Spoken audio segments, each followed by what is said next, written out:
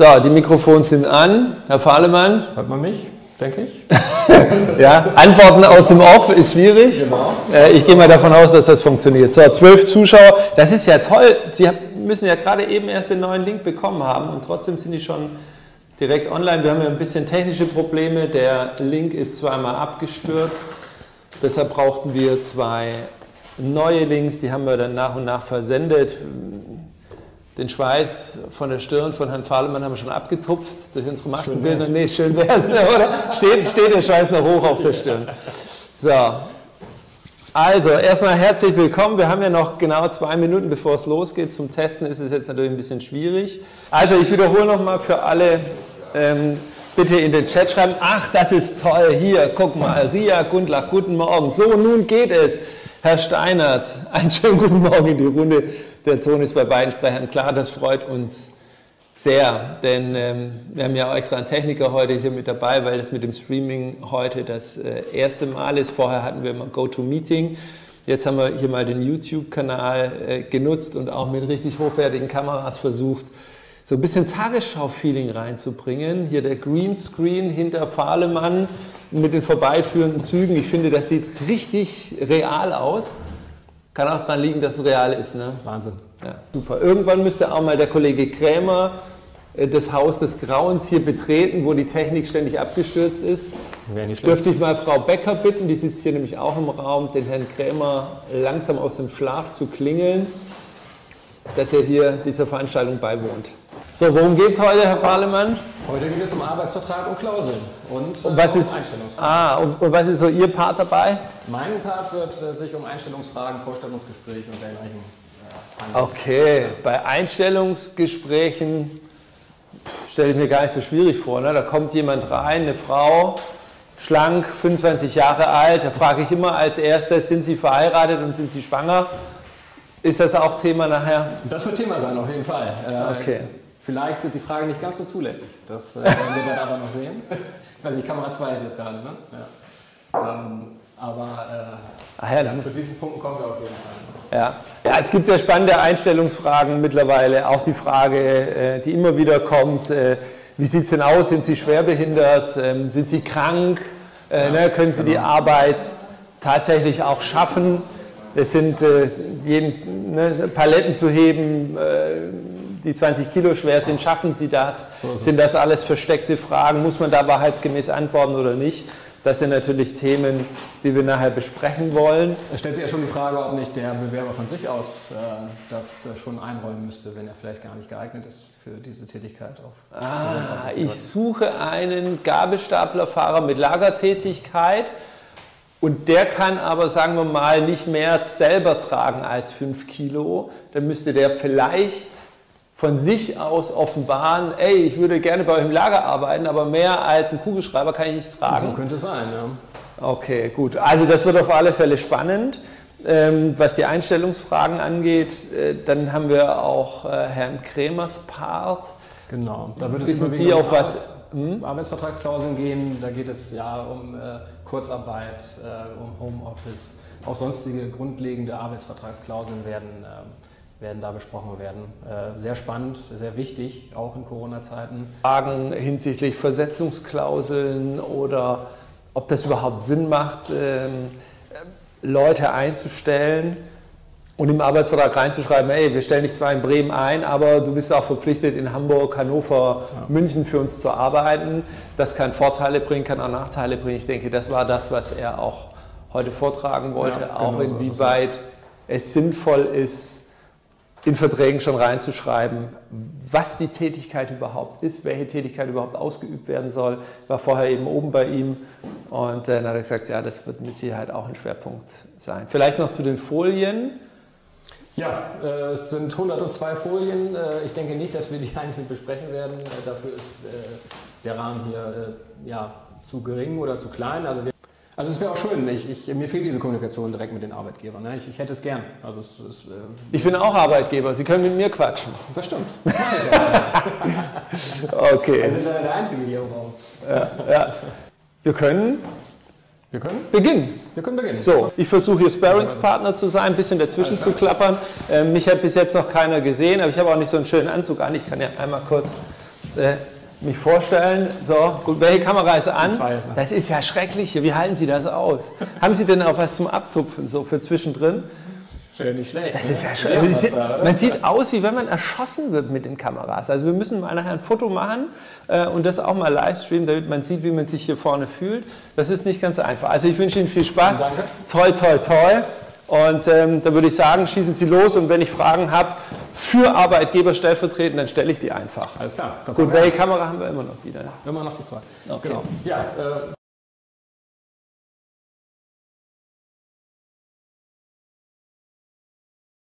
Von mir auch nochmal herzlich willkommen zu unserem Arbeitgebertreffen Arbeitsvertrag und Klauseln. Äh, Mein Name ist Tim Fahlemann, ich bin Rechtsanwalt und Fachanwalt für Arbeitsrecht hier am Standort Bremen. Ähm, Und äh, ja, heute sind Sie bundesweit zugeschaltet von unseren anderen Standorten sozusagen.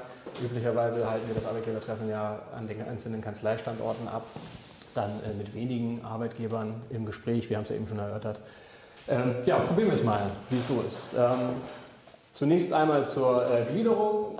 Ich mache den ersten Part, Fragerechte des Arbeitgebers anlässlich der Einstellung. Und ähm, da fällt mir eben halt schon gleich was zu ein, äh, nämlich was ist eigentlich mit schwerbehinderten Bewerbern? Ähm, was ist bei denen zu beachten? Muss man ähm, dort äh, ja, eben halt äh, auf besondere Dinge achten? Äh, Das eine ist, äh, dass man grundsätzlich als Arbeitgeber verpflichtet ist, ähm, bei der Bundesagentur bei jeder kleinen Stelle, die man ausschreibt, anzufragen, ob ähm, ein äh, schwerbehinderter Bewerber geeignet ist. Beachten Sie das äh, bitte. Äh, Ich kriege hier gerade die Info, Herr Fahlemann ist sehr leise, Mikro vom Referenten ist nicht an. Ich soll allerdings mein Mikro ausmachen, weil ich nicht der Aktive bin. Okay, dann fange ich gerne nochmal wieder an. Ähm, nochmal herzlich willkommen. Ähm, ich habe äh, selbst vor einiger Zeit ähm, mal den Fall gehabt, da habe ich ein Unternehmen vertreten, hier aus der Nähe von Bremen. Ähm, die hatten die Bewerbung eines schwerbehinderten Menschen. Ähm, der äh, hatte, äh, die Bewerbung war total schlampig, äh, es, es, es war kein gerader Satz drin, stand aber fett, 50 GdB, also 50 Grad der Behinderung. Viele sagen auch 50 Prozent. Ab 50 GdB ist man schwerbehindert. Das heißt, da müssen die Alarmglocken bei jedem Arbeitgeber angehen. Er hatte noch ein Foto beigefügt von sich, äh, so einen Urlaubsschnappschuss mit Lampignons im Hintergrund. Und äh, diese Bewerbung wurde gleich aussortiert. Ja, es, ist, es war von vornherein klar, äh, das ist keine ernst gemeinte Bewerbung. Aber es wurde halt überhaupt nicht darauf geachtet, ähm, dass er eben halt Fett, also wirklich in Fettdruck 50 GdB reingeschrieben hatte. Und nun fragte er dann irgendwann an, was ist eigentlich mit meiner Bewerbung, äh, per E-Mail, es, es kam keine Antwort. Ähm, Und äh, irgendwann kam dann das Anwaltsschreiben, dass er ähm, jetzt Schadensersatz geltend macht und, zwei, und zwar drei Monatsgehälter. ne? Das ist nach dem AGG, nach dem Allgemeinen Gleichbehandlungsgesetz geregelt, dass wenn ein Schwerbehinderter oder äh, so ein sonstiger Mensch diskriminiert wird aufgrund äh, seiner Rasse oder eben halt seiner Schwerbehinderung oder ähnlichem, ähm, dass er dann Schadensersatz verlangen kann. Und genau das tat der Bewerber auch hier. Ähm, Und hier wurde zum großen Problem, dass nicht ähm, die, äh, ja, dass die Bewerbung als solche schon äh, erst einmal nicht den Eindruck erweckte, dass sie ernsthaft gemeint war, aber äh, das Gericht hat sehr darauf abgestellt, ob äh, der Arbeitgeber vorher sich bei der Arbeitsagentur äh, gemeldet hatte, nämlich dass er für die offene Stelle äh, auch einen Schwerbehindertenbewerber sucht. Man ist nämlich, und das hatte ich vorhin schon gesagt, als mein Mikrofon wahrscheinlich noch aus war, äh, verpflichtet, ähm, bei der Arbeitsagentur nachzufragen für jede offene Stelle, ob nicht ein geeigneter schwerbehinderter Bewerber vorhanden ist. Ähm, das sollte man ja, tunlichst tun. So, jetzt schaltet sich Herr Wittig noch dazu. Nö, ja, nee, Ja? ich wollte nur, ich wollte nur nachfragen, weil für mich ist es tatsächlich neu. Also wenn ich eine Stelle ausschreibe, Ja. muss ich parallel mit der Ausschreibung bei der Agentur für Arbeit dort anrufen und fragen, ob die nicht einen geeigneten schwerbehinderten Bewerber So haben. sieht das aus, ja.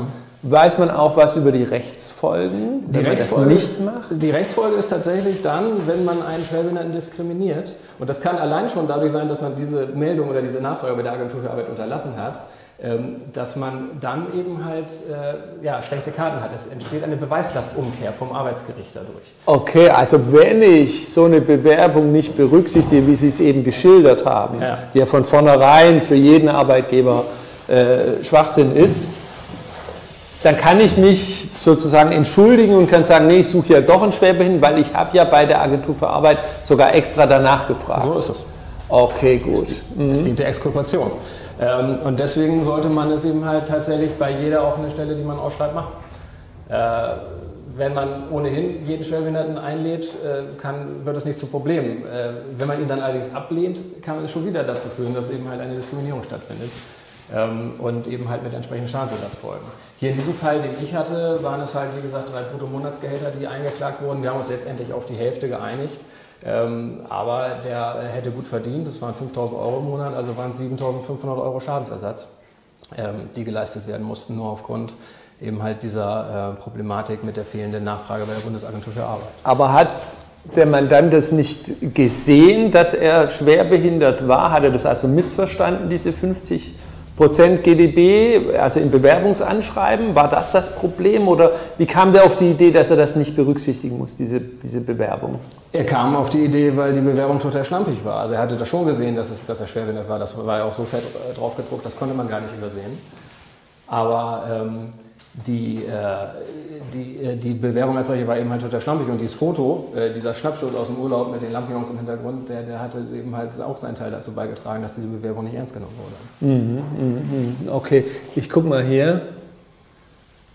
Ähm, Patrick Jung schreibt, Nachfrage per E-Mail bei der Bundesagentur für Arbeit ob das als Beweismittel reicht, dass man denen eine E-Mail schreibt. War das der Hinweis von Ihnen, dass ich das vorlesen soll? Ah, okay, das bringt mich ja völlig raus. Hier stehen zwei Frauen auf und wehen mit ihren Haaren und mit ihren Armen und sagen, oh, ich denke, die feuern mich hier an. Dabei wollen die mir nur sagen, dass da einer was im Chat geschrieben hat.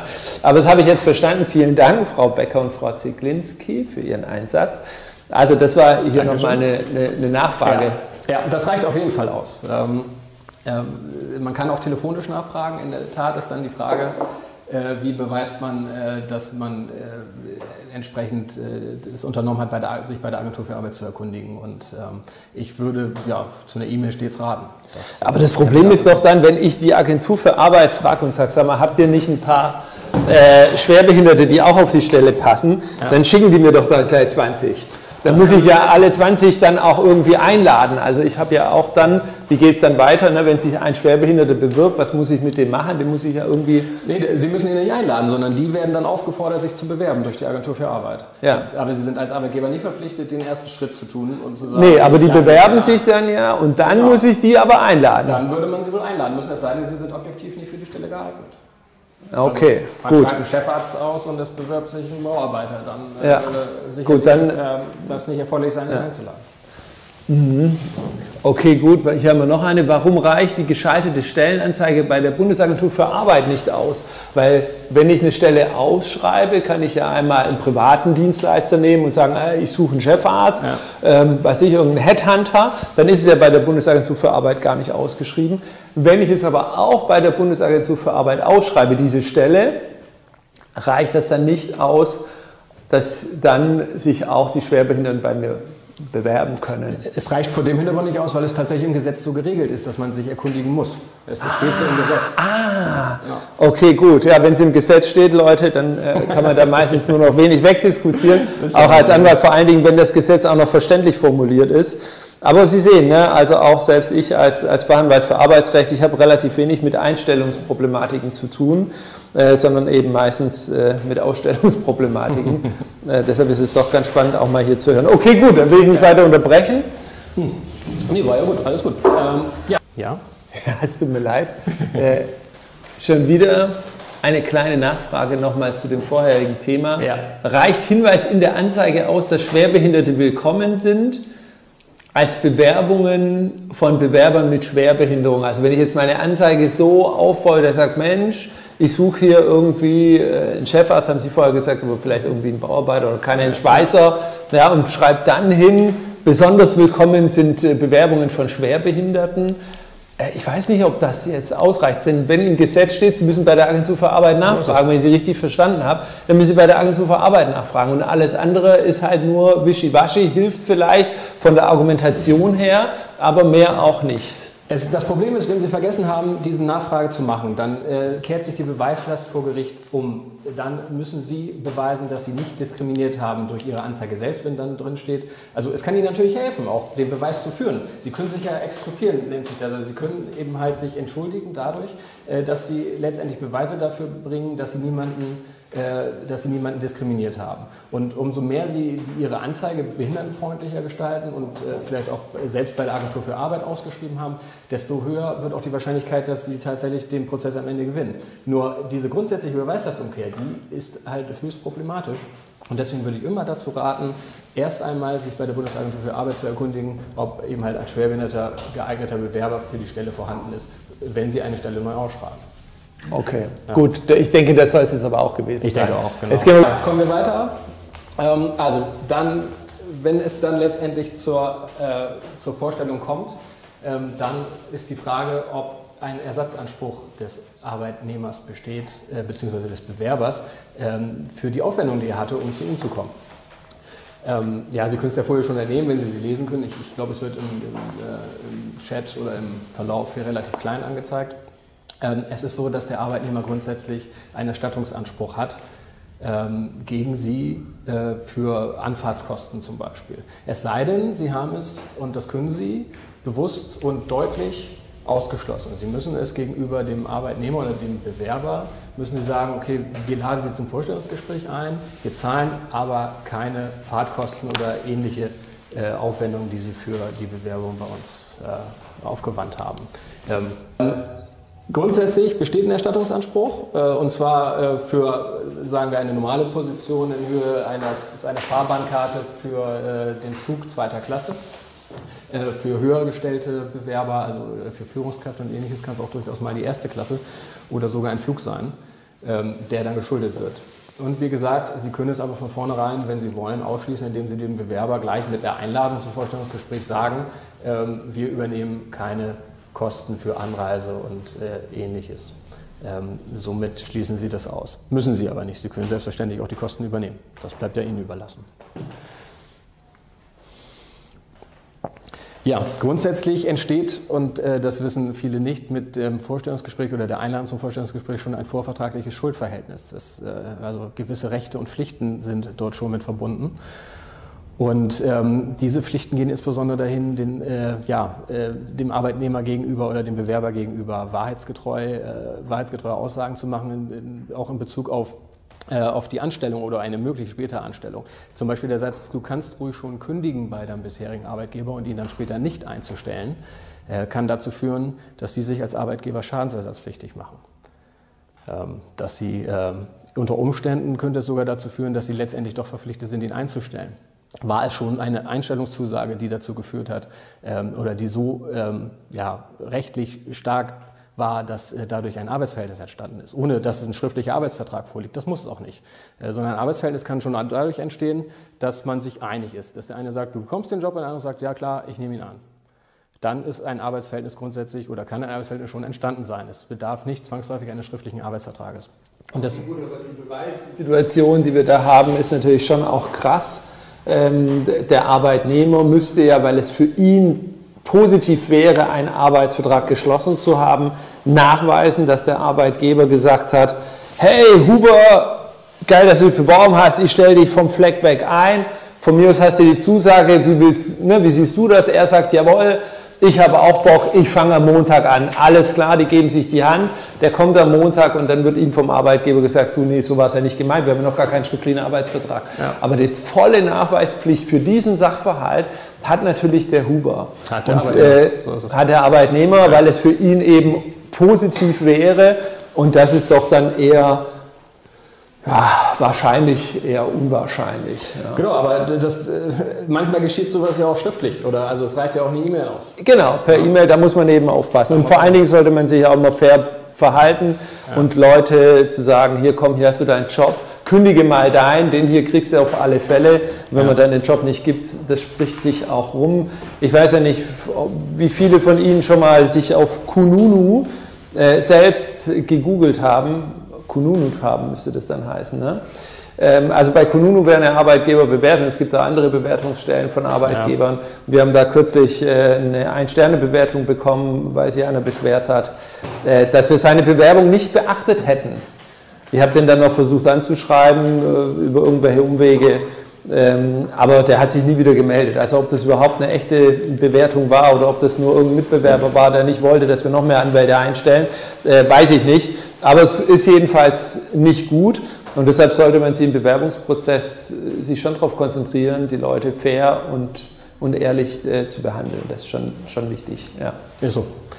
Ähm, ja, gegen diese Bewertung kann man natürlich wenig unternehmen. Es kann auch einfach jemand sein, der einem äh, ja, was Böses will, äh, sich niemals beworben hat, vielleicht ein Konkurrent ist, äh, der einen da schlecht bewertet. Also das ist äh, ja nicht auszuschließen. Ja, äh, soweit auch schon zum Bewerbungsverfahren. Äh, erst einmal, wenn das Bewerbungsgespräch letztendlich stattfindet, stellt sich ja die Frage, hat der Bewerber Offenbarungspflichten? Wir haben es eingangs schon mal kurz angesprochen, da waren, glaube ich, noch nicht alle Zuschauer mit dabei. Nee, da sind wir noch dreimal abgebrochen zwischendrin. Genau. da ist der Stream hier abgebrochen, ja, genau. Das, äh, also es gibt Offenbarungspflichten des Arbeitnehmers, nämlich dann, äh, ja, er muss, wie heißt es so stellen, Umstände, die die Leistung unmöglich machen oder sonst für das Arbeitsverhältnis von ausschlaggebender Bedeutung sind. Diese muss er offenbaren. Er muss keine Umstände offenbaren, nach denen ohnehin nicht gefragt werden darf. Ähm, dazu kommen wir später, was man nicht fragen darf. Aber er muss ihm halt äh, grundsätzlich Umstände offenbaren. Dazu gehört insbesondere seine Qualifikation.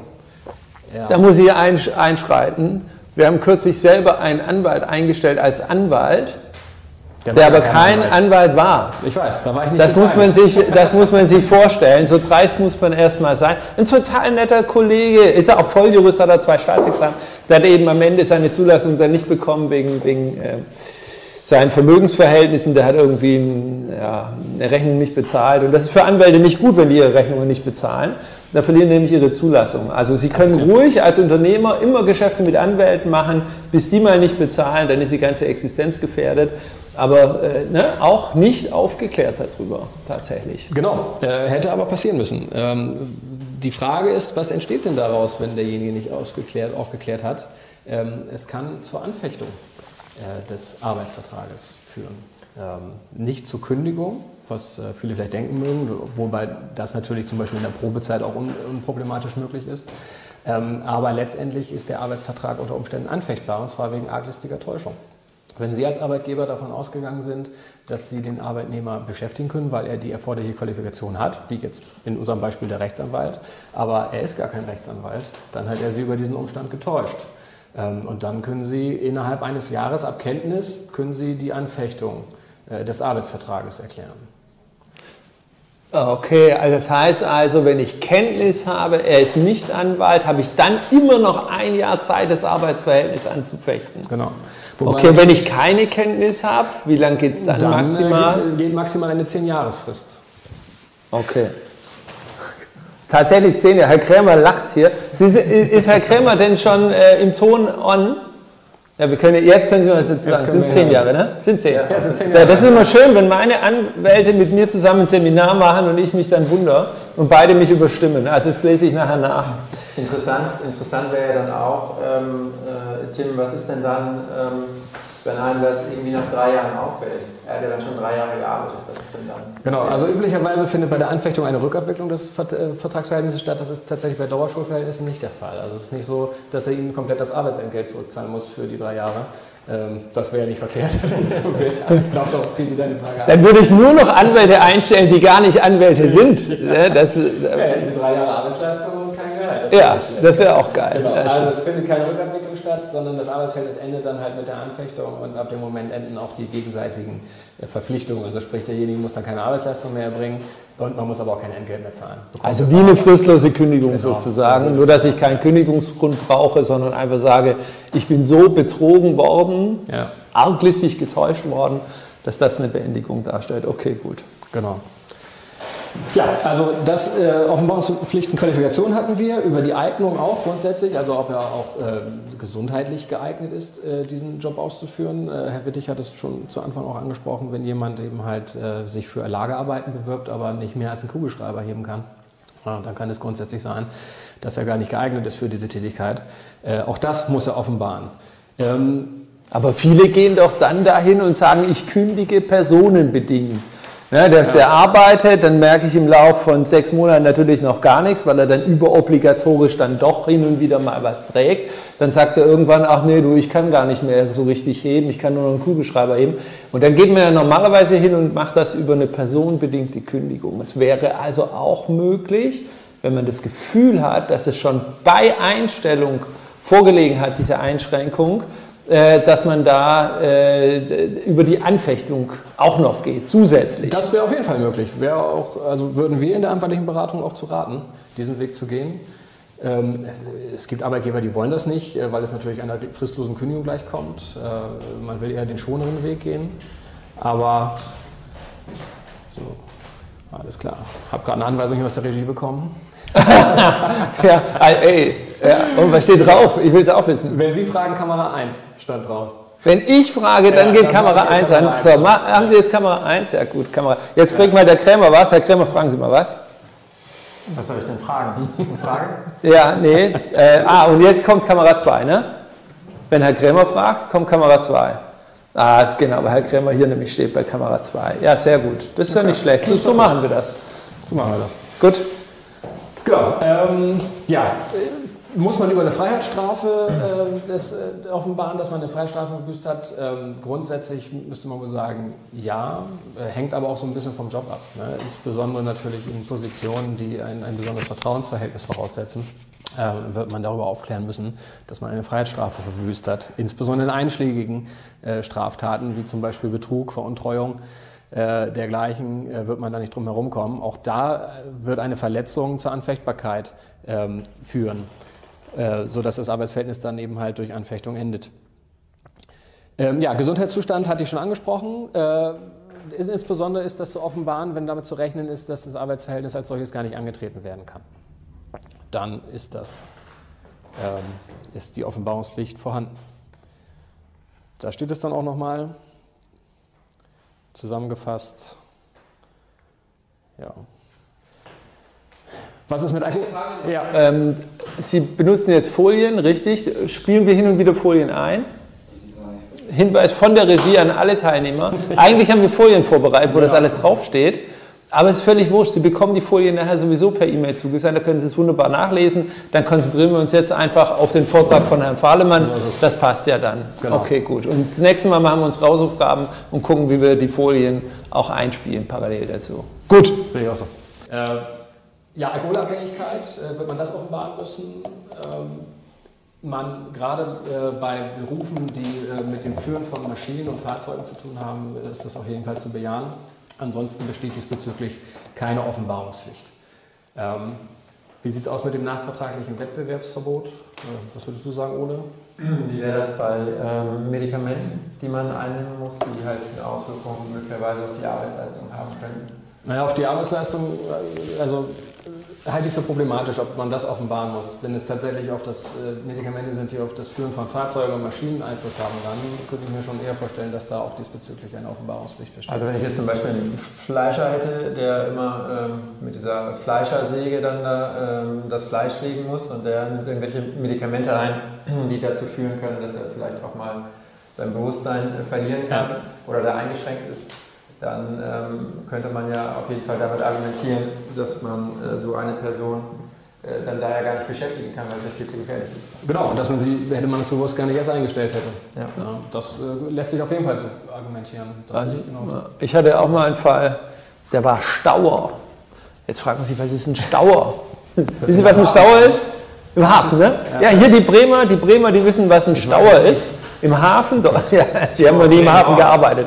Also, im Hafen gibt es Schiffe und, äh, ähm, und ein, ein Stauer staut waren in Schiffe. Mhm. Und der war aber gleichzeitig Bluter. Der musste Medikamente nehmen, die sein Blut verdünnen aufgrund irgendwelcher gesundheitlichen Problematiken. Und am Ende des Tages konnte der einfach nicht mehr beschäftigt werden, weil er Angst hatte, wenn ich falle oder wenn was auf mich drauf fällt während dem Stauen, äh, kann ich einfach sterben. Und äh, das war ein Riesenproblem und äh, er äh, wurde dann gekündigt und damals habe ich ihn vertreten als Arbeitnehmer. Das war ganz lustig, weil ich habe gesagt, naja, du müsst ja halt, ist ja auch egal. ich denke, das wäre auf alle Fälle auch was, was einer, der sich als Stauer bewirbt, mitteilen muss von sich aus, weil darauf kann kein Arbeitgeber von sich aus kommen. Ja, da kann man nicht sagen, ähm, bist du Bluter zufällig oder nimmst du Medikamente, ja. die eben dich zu einem Bluter machen. Also es reicht ja allein schon, wenn man äh, ein na, wie heißt diese Erkrankung, wenn hier so ein Venenverschluss ist, eine Thrombose, Thrombose hatte, ja. nehmen sie auch Medikamente als Blutverdünner.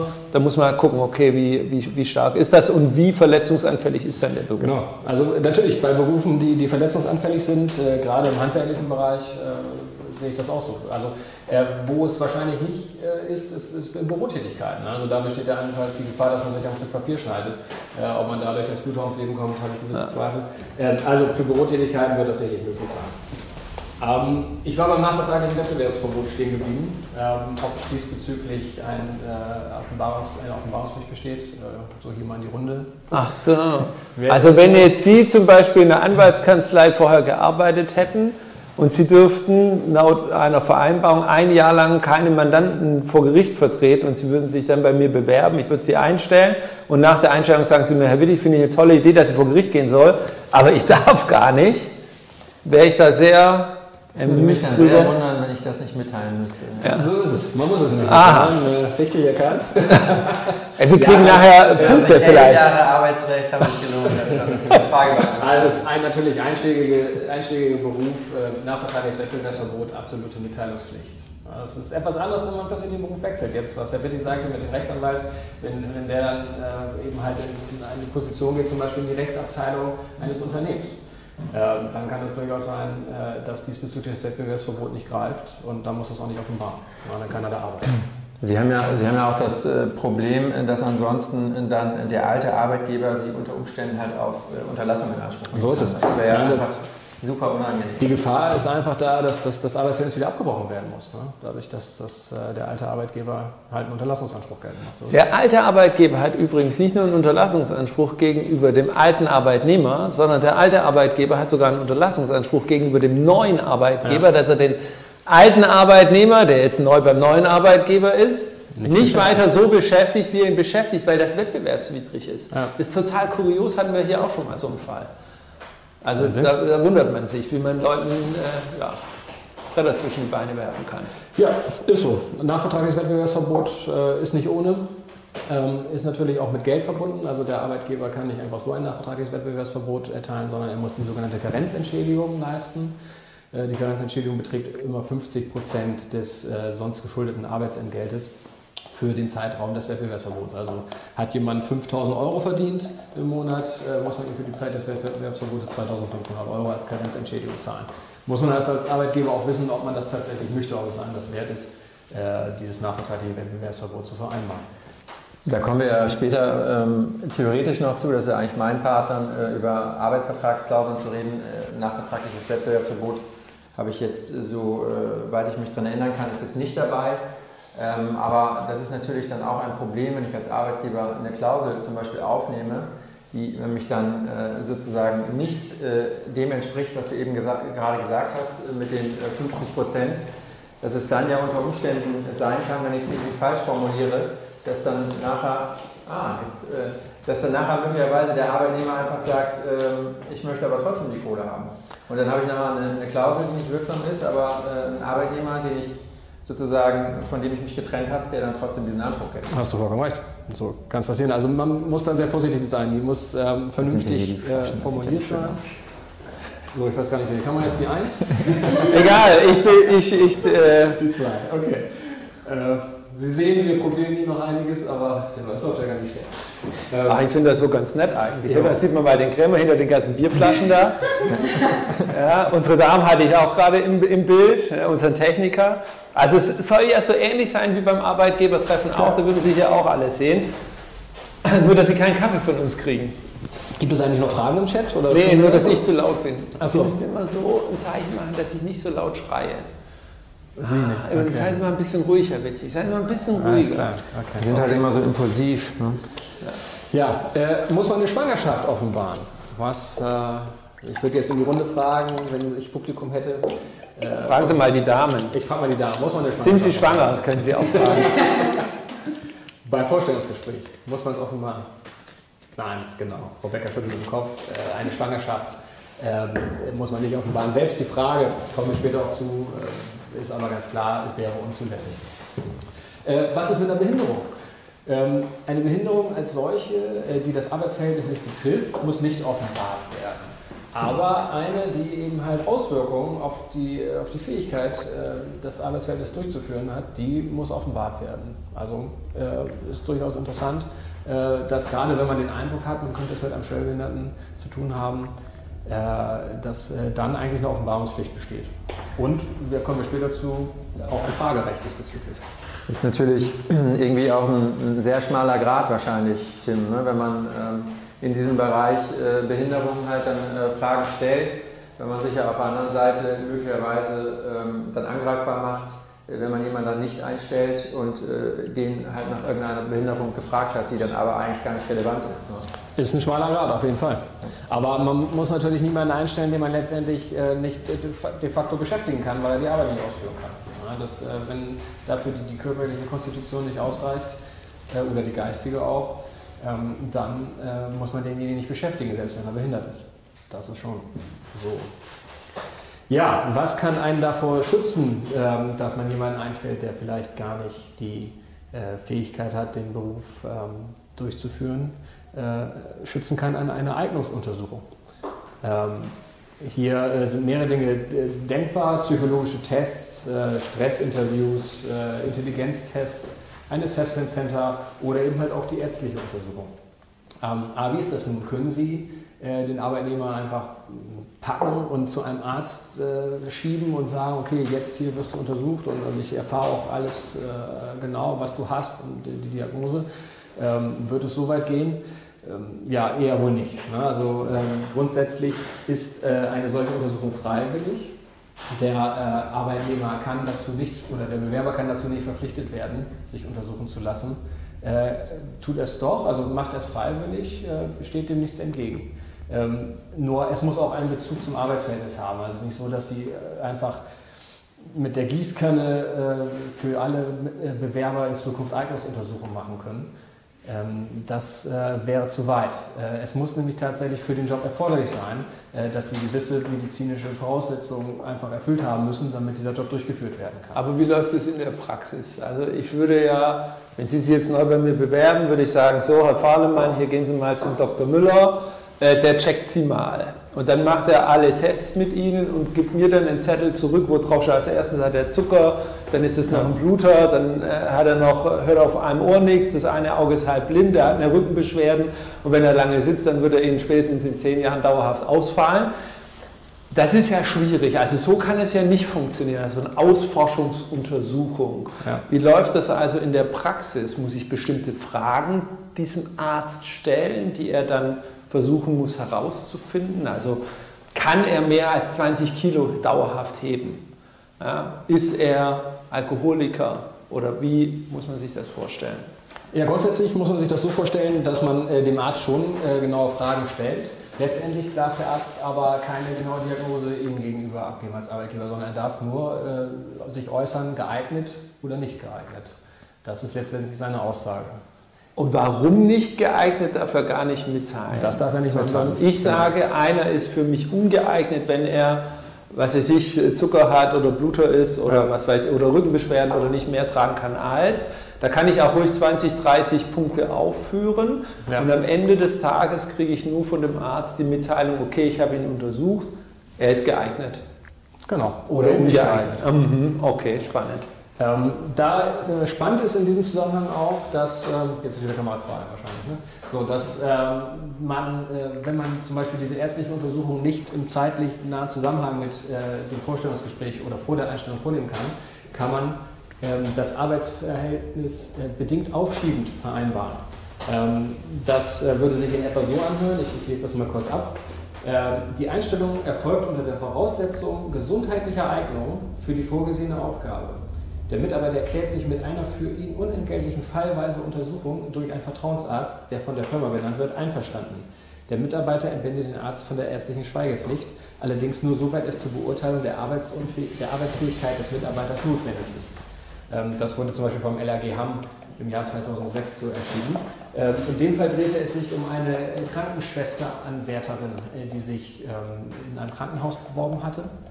Und äh, dort hatte das Krankenhaus genau diese Klausel verwendet und gesagt, das Ganze steht unter der aufschiebenden Bedingung, also unser Arbeitsverhältnis steht unter der aufschiebenden Bedingung der gesundheitlichen Eignung. Und äh, sie ist dann auch zum äh, Arzt gegangen und äh, der Arzt stellte letztendlich fest, äh, für die Aufgabe nicht geeignet. Und äh, damit war es tatsächlich so, dass das Arbeitsverhältnis als solches nicht in Gang gesetzt wurde, obwohl tatsächlich auch schon einige Wochen an Arbeitsleistung stattgefunden hatten. Es war aufschiebend bedingt und es endete dann. Äh, die Arbeitnehmerin hat geklagt bis zum LAG, also Landesarbeitsgericht in Hamm halt, äh, hat aber eben halt auch in zweiter Instanz verloren und äh, war das Arbeitsverhältnis los. Okay. Und die Gehälter und so weiter bis dahin, Urlaubsansprüche, das wird ganz normal abgewickelt? Das wird ganz normal abgewickelt. Das ist bei Dauerschulverhältnissen halt tatsächlich immer so. Alles, was bis dahin entstanden ist, wird auch geschuldet. Ja. Eine Rückabwicklung findet nicht statt.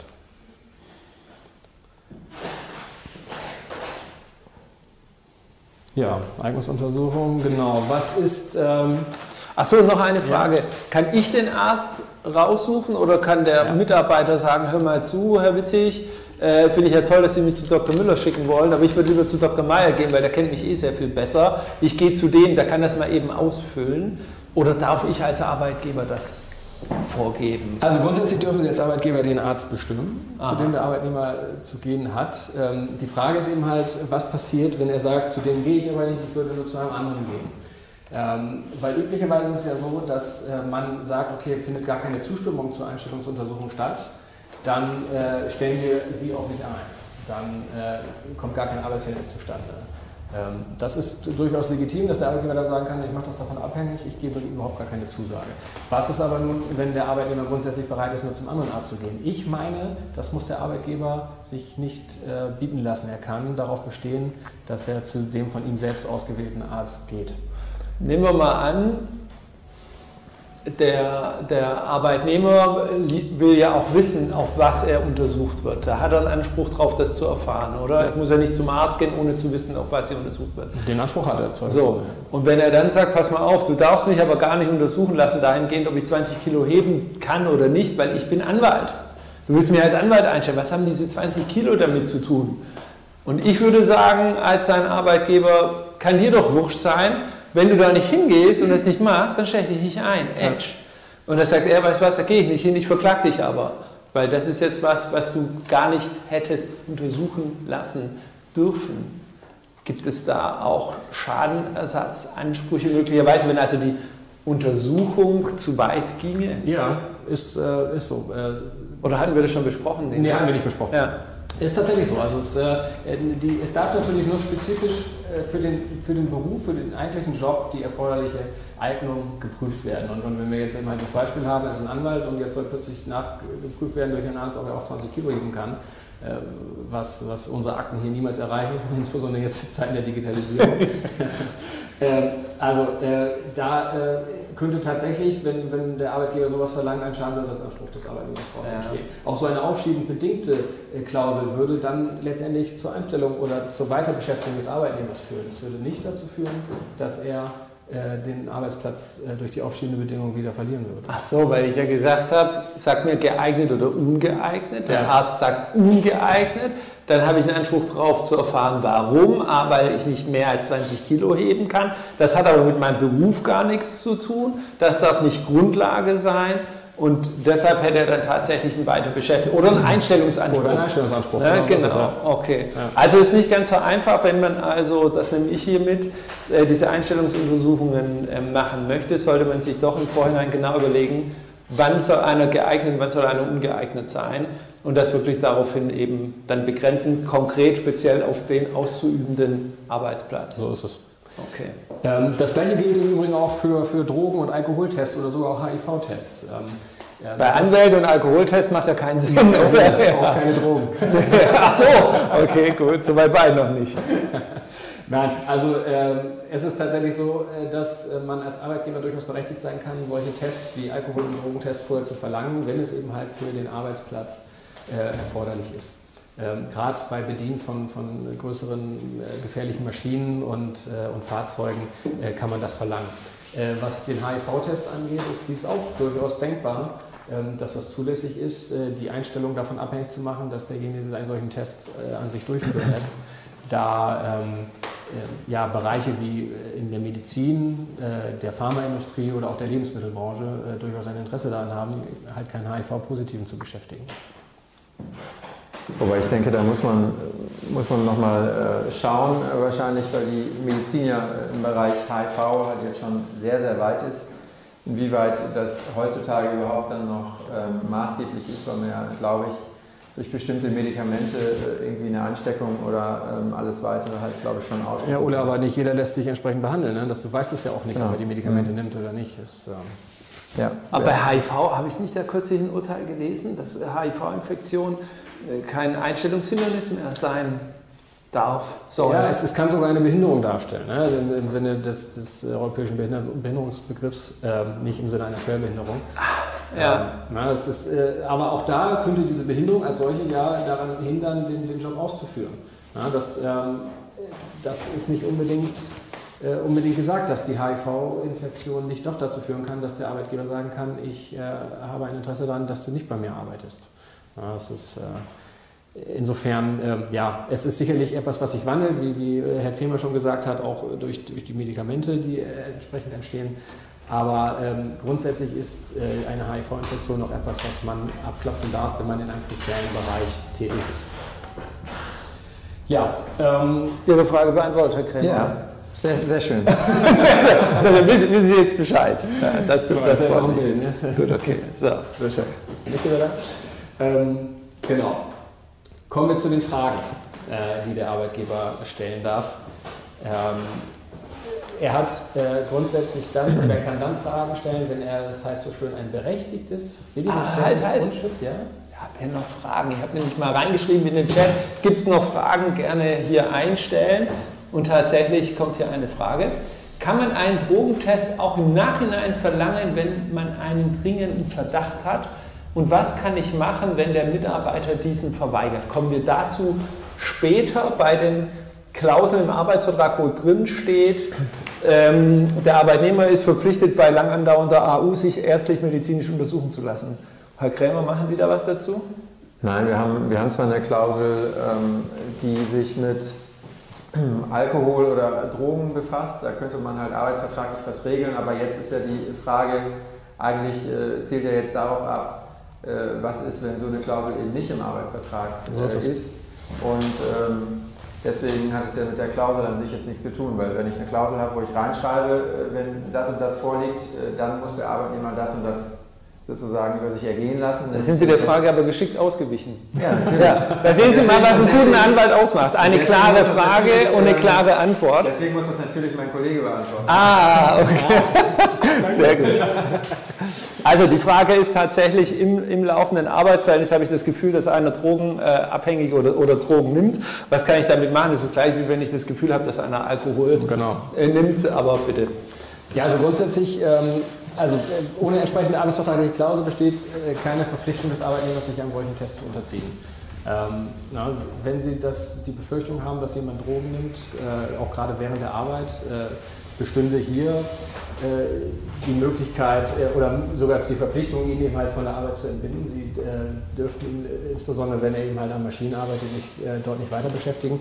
Und bei Drogen ist es nun auch so, dass es im Gegensatz zu Alkohol eine Straftat darstellt. Das heißt, man kann sich hier ähm, die Unterstützung der Polizei holen. Wenn Sie also tatsächlich das Gefühl haben, dass jemand Drogen genommen hat, vielleicht sogar aktuell im Besitz von Drogen ist, also sprich im Spind in der Firma und ähnlichem, dann können Sie äh, die Polizei rufen und äh, die wird dann alles weiter veranlassen, weil die hat auch die entsprechenden Hoheitsrechte, auch dort unter Umständen eine Untersuchung, eine Blutprobe entnehmen zu lassen.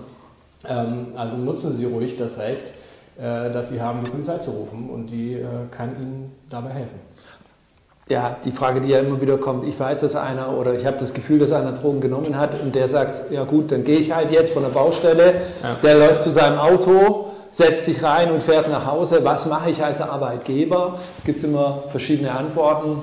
Ja, vieles denkbar. Also letztendlich hat man als Arbeitgeber eine Fürsorgepflicht, auch gegenüber dem drogenabhängigen Arbeitnehmer. Äh, und äh, muss natürlich dafür sorgen, dass er gerade das nicht tut, dass er sich ins Auto setzt und, und, und wegfährt.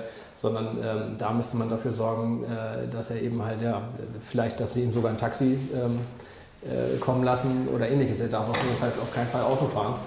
Ähm, sie könnten ja, auch da, äh, wie ich schon gesagt habe, äh, die polizeiliche Hilfe in Anspruch nehmen. Oder also ihn einfach fahren. Herr Kahler würde sagen, fahren. Also Herr Kahler würde wahrscheinlich raten, wenn Sie den Arbeitnehmer loswerden wollen, äh, lassen Sie ihn ins Auto setzen, rufen Sie dann die Polizei und ja. wenn der Führerschein möglicherweise maßgeblich ist für das Arbeitsverhältnis, dann sind Sie den Arbeitnehmer wahrscheinlich los. Klar. Ja, vielleicht nochmal, wer Herr Kahlau ist. Herr Kahlau ist einer unserer erfolgreichsten Fachanwälte für Arbeitsrecht, also außer den Anwesenden natürlich hier. Der weiß schon, wie das richtig geht. Ich selber bevorzuge die Vorgehensweise auch. Also wenn das ein Arbeitnehmer ist, von dem ich mich ohnehin trennen will, der ist alkoholisiert, am Arbeitsplatz wahrscheinlich schon wiederholt und der fährt mit dem Auto heim, mache ich eins, rufe die Polizei und sage, der kommt gleich zu Hause an. Vielleicht checken Sie den mal. Bei Drogen auch nichts anderes. Ich denke auch nicht, dass die Fürsorgepflicht so weit geht, denn schließlich ist es seine Sache, ähm, zu entscheiden, ob er Auto fahren kann oder nicht. Das hat dem Arbeitsverhältnis meiner Meinung nach nichts zu tun. Letztendliche ja, äh, Gerichtsurteile zu dem Thema habe ich noch nicht gefunden, auch die Sozialgerichte nicht, wenn es dann um, um äh, Unfälle geht, auch nicht. Also ich würde es wahrscheinlich äh, auch darauf ankommen lassen, je nachdem, wie der Einzelfall eben ist. Aber das sind ja tatsächlich hier so die. Naja, grundsätzlich, grundsätzlich sollte man schon sagen, dass man äh, versuchen muss, wenn jemand jetzt irgendwie stark alkoholisiert ist oder neben sich steht, dann äh, müssen Sie als Arbeitgeber schon versuchen, äh, ihn darauf hinzuweisen, dass er nicht äh, jetzt mit dem Auto fährt. So. Ja, wenn er jetzt natürlich auf dem Weg zum Auto fünfmal auf die Nase fällt, weil er nicht mehr laufen kann, dann sehe ich das auch so. Aber Sie ja. können ihn jetzt natürlich nicht zwingen. Also Sie können ihm jetzt nicht den ähm, Schlüssel äh, wegnehmen. Sie können ihm das sagen, äh, dass er es nicht machen soll, ähm, weil Sie halt eben die Befürchtung haben, dass er alkoholisiert ist oder unter Drogen steht. Ähm, verhindern können sie es dann nicht, ja. aber ähm, mit ihm sprechen sollten sie auf jeden Fall. Und zum Thema ähm, Untersuchung, Drogen wie Alkohol, da kommen wir, weiß nicht, kommen Sie nachher noch auf das Thema Alkohol überhaupt zurück?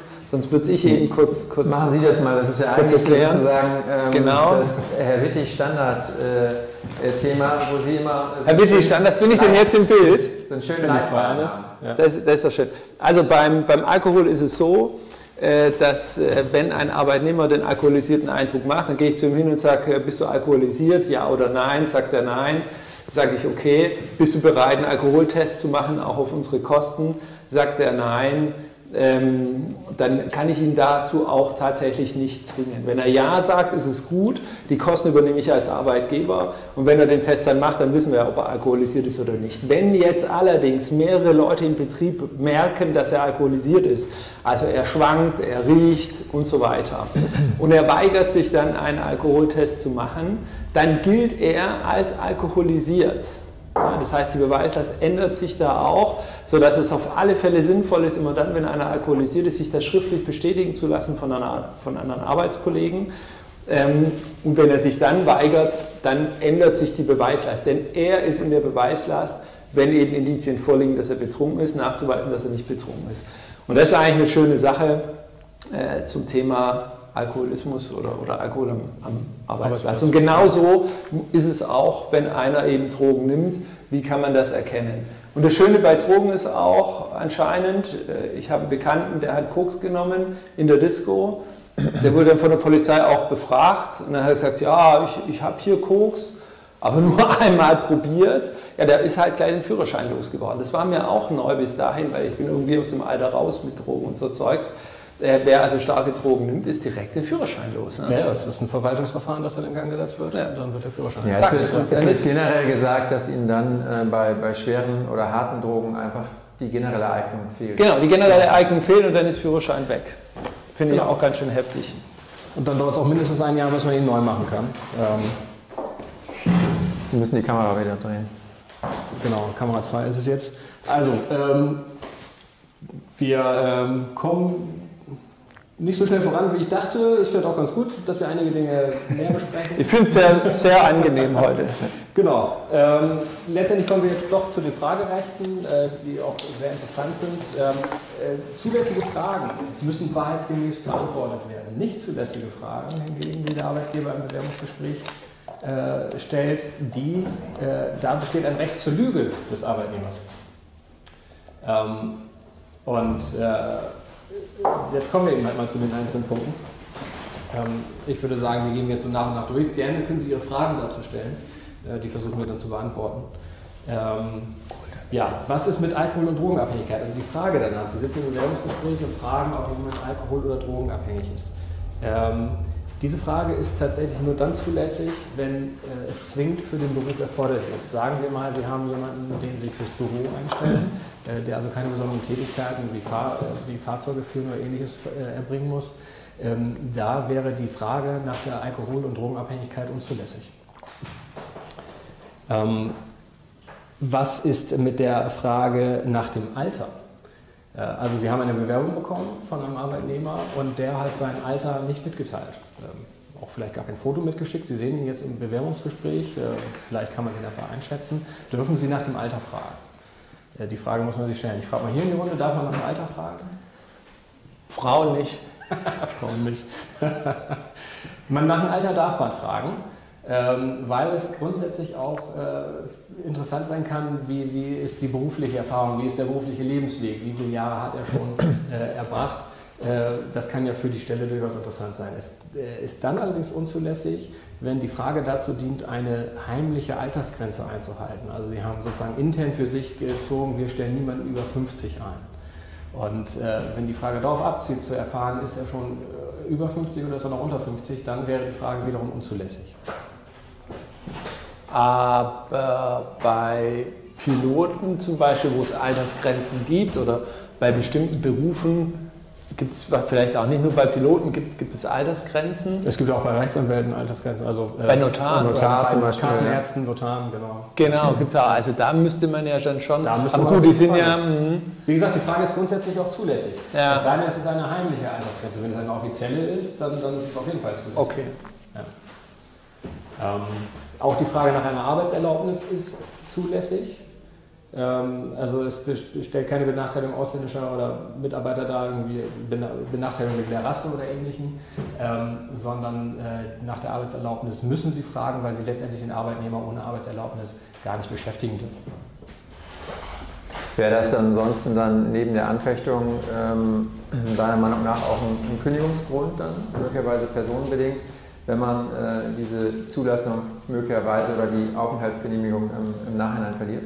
Ja, auf jeden Fall. Also ähm, äh, eine Beschäftigung des Arbeitnehmers ohne Arbeitserlaubnis ist gar nicht möglich, sodass sie letztendlich äh, neben einer möglichen Anfechtung äh, des Arbeitsvertrages, wenn, da, äh, wenn man von der Offenbarungspflicht ausgehen musste, äh, würde auf jeden Fall auch ein Kündigungsrecht bestehen. Ja, es ist, äh, wäre dann eine personenbedingte Kündigung, weil der in seiner Person die Arbeitsleistung gar nicht erbringen kann. Ja, was ist mit der Frage nach dem Familienstand? Äh, also sind Sie verheiratet? Äh, sind Sie, äh, haben Sie Kinder? diese Frage ist ebenfalls unzulässig. Ähm, mag man jetzt vielleicht so gar nicht glauben, aber der Arbeitnehmer kann diesbezüglich lügen. Ähm, insbesondere besteht nämlich eine Gefahr und deswegen ist es unzulässig wegen der Benachteiligung gleichgeschlechtlicher Partnerschaften. Ähm, also Homosexuelle könnten durch diese Frage benachteiligt werden. Ähm, nach der Einstellung ist es im Übrigen zulässig, danach zu fragen.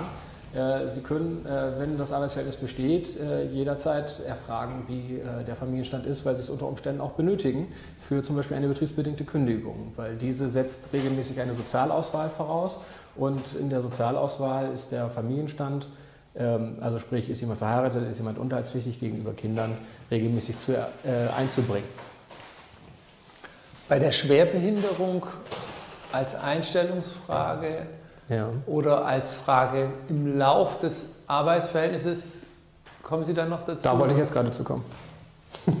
Gut. Genau. Also die äh, Frage nach der Schwerbehinderung als solche, die ist äh, im Einstellungsgespräch unzulässig. Der Arbeitnehmer kann dort lügen. Er kann also, wenn Sie ihn fragen, bist du schwerbehindert, dann kann er sagen, nein, bin ich nicht. Das kann ihm auch nicht zum Nachteil gereichen. Also eine spätere, äh, ein späteres Herausfinden, äh, dass er gelogen hat, kann nicht dazu führen, dass er deswegen gekündigt werden kann oder dass deswegen der Arbeitsvertrag angefochten werden kann. Allerdings ist es so, ähm, dass bei Schwerbehinderten eine sechsmonatige Wartezeit besteht, äh, bis sie den besonderen Kündigungsschutz erlangen. Äh, ähnlich wie bei der Probezeit, die, die häufig ja mit Arbeitnehmern vereinbart wird, äh, besteht bei Schwerbehinderten halt auch eine sechsmonatige Wartezeit. Ähm, wenn diese verstrichen ist, dann hat man als Arbeitgeber ein Fragerecht äh, an den Arbeitnehmer, äh, ob er schwerbehindert ist. Er muss diesbezüglich dann auch die Wahrheit sagen. Das Interessante ist nämlich, sagt er nicht die Wahrheit, also äh, behauptet er weiterhin nicht schwerbehindert zu sein, obwohl er schwerbehindert ist, dann kann er sich in einem späteren Kündigungsschutzprozess, wenn er eben halt durch irgendetwas gekündigt werden sollte, nicht mehr darauf berufen, dass er ja schwerbehinderter ist. Er kann ähm, also nicht heranziehen, dass man ja eigentlich vorher das Integrationsamt hätte um Zustimmung bitten müssen bei der Kündigung ähm, und der Arbeitgeber hat es nicht getan. Ja, er hat es ja gar nicht gewusst und er hat es nämlich nicht gewusst, weil der Arbeitnehmer ihn unberechtigterweise nach über sechs Monaten angelogen hat. Ähm, das ist also auch noch wichtig zu wissen. Ähm, Sie können und sollten auch, äh, gerade wenn Sie den Verdacht haben, dass ein Arbeitnehmer schwerbehindert ist, äh, sollten Sie ihn nach sechs Monaten Zugehörigkeit dann auch diesbezüglich mal befragen. Äh, dann aber noch eine Frage, wie, wie ist das denn, äh, wenn ich jemanden betriebsbedingt kündigen möchte? Ja. Also einen Mitarbeiter von fünf. Ja, wir sind jetzt fünf in einer Reihe äh, und wir möchten jetzt gerne äh, einen kündigen. Dann ist es ja auch wichtig zu wissen, wer von den fünf schwerbehindert ist oder vielleicht geworden ist. Ne? Die sind alle seit fünf bis zehn Jahren bei uns im, äh, im Betrieb. Und da ist ja schon spannend, zu wissen, wer ist denn eigentlich schwerbehindert. Darf ich denn dann auch nach der Schwerbehinderung fragen, und was ist, wenn sich dann da einer nicht offenbart? Ja, wie eben schon gesagt, also äh, die Frage nach der Schwerbehinderung ist auf jeden Fall zulässig äh, und äh, sollte auch gestellt werden. Äh, wenn sich einer nicht offenbart, dann äh, ist er eben halt, in, in, was die Schwerbehinderung angeht, nicht zu berücksichtigen. Ähm, und äh, bei der Frage der Sozialauswahl zum Beispiel. Also Aber wie, wie, wie, muss ich das verstehen? Also pass auf, wir, wir, sind jetzt hier fünf Anwälte, Sie sind jetzt der Chef, Sie wollen einen entlassen, weil keiner schmeißt mehr einen raus, wir brauchen also nur noch vier Anwälte und nicht mehr fünf. Und äh, Sie fragen nach der Schwerbehinderung, ich bin schwerbehindert, ich sage es Ihnen nicht. Ja. Jetzt werfen Sie mich raus, ich renne natürlich zum Gericht und sage, ich bin schwerbehindert, ich darf gar nicht rausgeschmissen werden. Genau dann hat er nicht den Anspruch darauf. Er kann sich nicht auf seine Schwerbehinderteneigenschaft berufen, da er ursprünglich darüber gar nicht die Wahrheit gesagt hat. Okay, also wäre es dann doch extrem wichtig, tatsächlich dann nach Schwerbehinderung zu fragen. Auf jeden Fall. Vor Ausspruch von betriebsbedingten Kündigungen. Ja. So ist es. Es kommt, es kommt ja immer darauf an, muss man ja auch äh, sagen. Ähm, wenn Sie jetzt ähm, zum Beispiel eine größere Umstrukturierung planen, ähm, dann äh, kann das sicherlich sinnvoll sein, weil Sie ja dann halt auch im Rahmen der Sozialauswahl das äh, bei der Punkteberechnung äh, berücksichtigen müssen. Ähm, auf der anderen Seite äh, kann es natürlich auch sein, ähm, wenn Sie zum Beispiel im Rahmen der Umstrukturierung da nachfragen, dass Sie die Leute auf die Idee bringen, so würde ich es jedenfalls machen, wenn ich jetzt der Arbeitnehmeranwalt wäre und dann kommt ein Arbeitnehmer zu mir und sagt, Mensch, wir sind jetzt hier irgendwie alle im Betrieb gefragt worden, ähm, ob wir irgendwie schwerbehindert sind oder irgendwas. Ähm, und äh, man munkelt irgendwie, es steht ähm, eine Betriebsschließung im Raum, dann würde ich als Arbeitnehmeranwalt äh, dem Arbeitnehmer eher empfehlen, würde ich sagen, okay, ähm, hast du vielleicht irgendwelche Wehwehchen, geh mal zum Arzt und stell mal einen Antrag.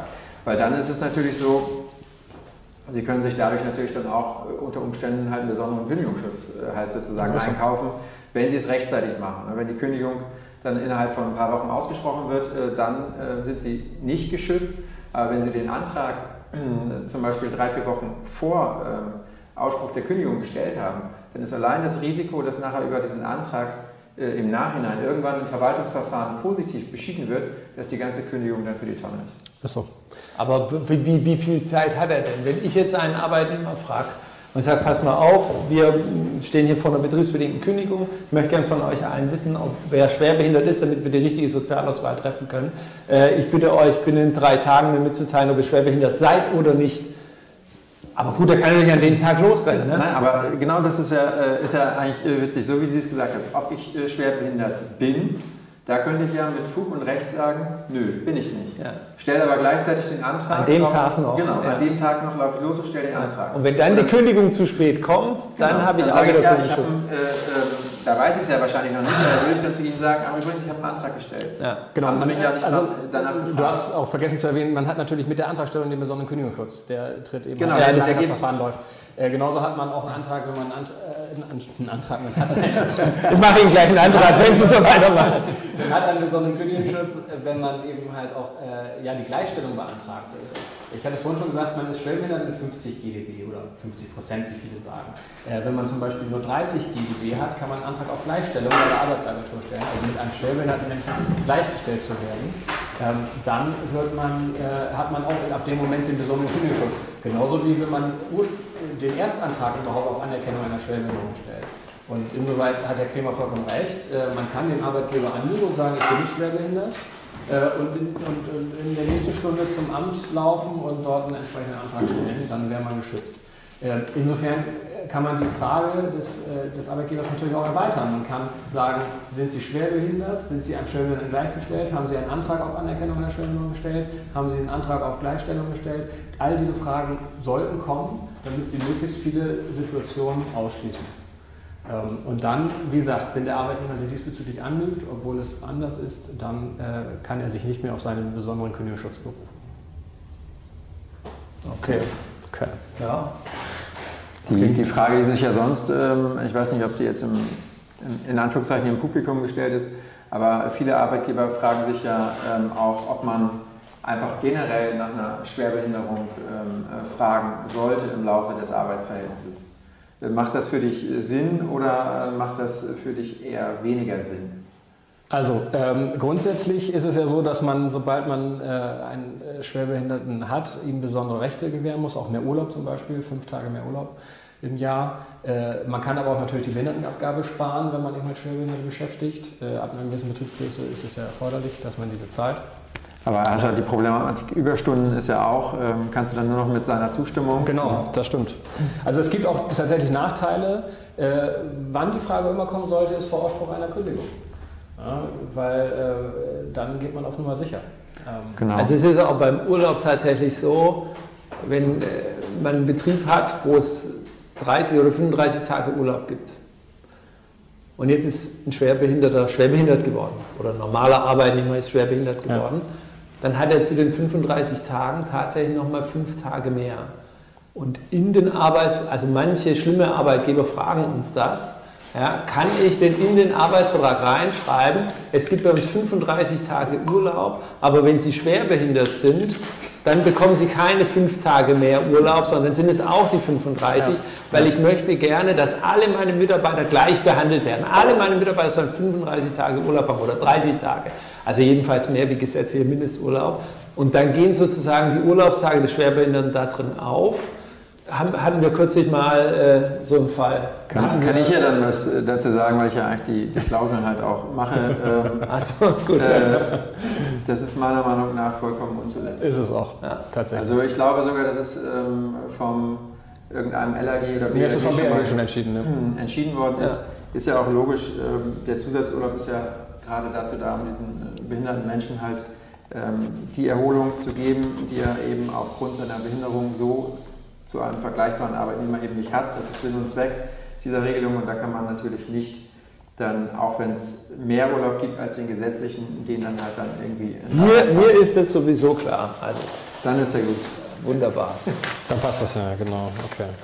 Also um nochmal äh, zurückzukommen, ähm, die Frage, die ich eben in den Raum gestellt habe, da würde ich halt äh, sagen, also grundsätzlich fragt man eben nicht nach der schwerbehinderten Eigenschaft, sondern nur in diesem speziellen Fall ähm, möglicherweise, wenn eben eine ähm, Kündigung halt aussteht oder ansteht, dass man dann fragt.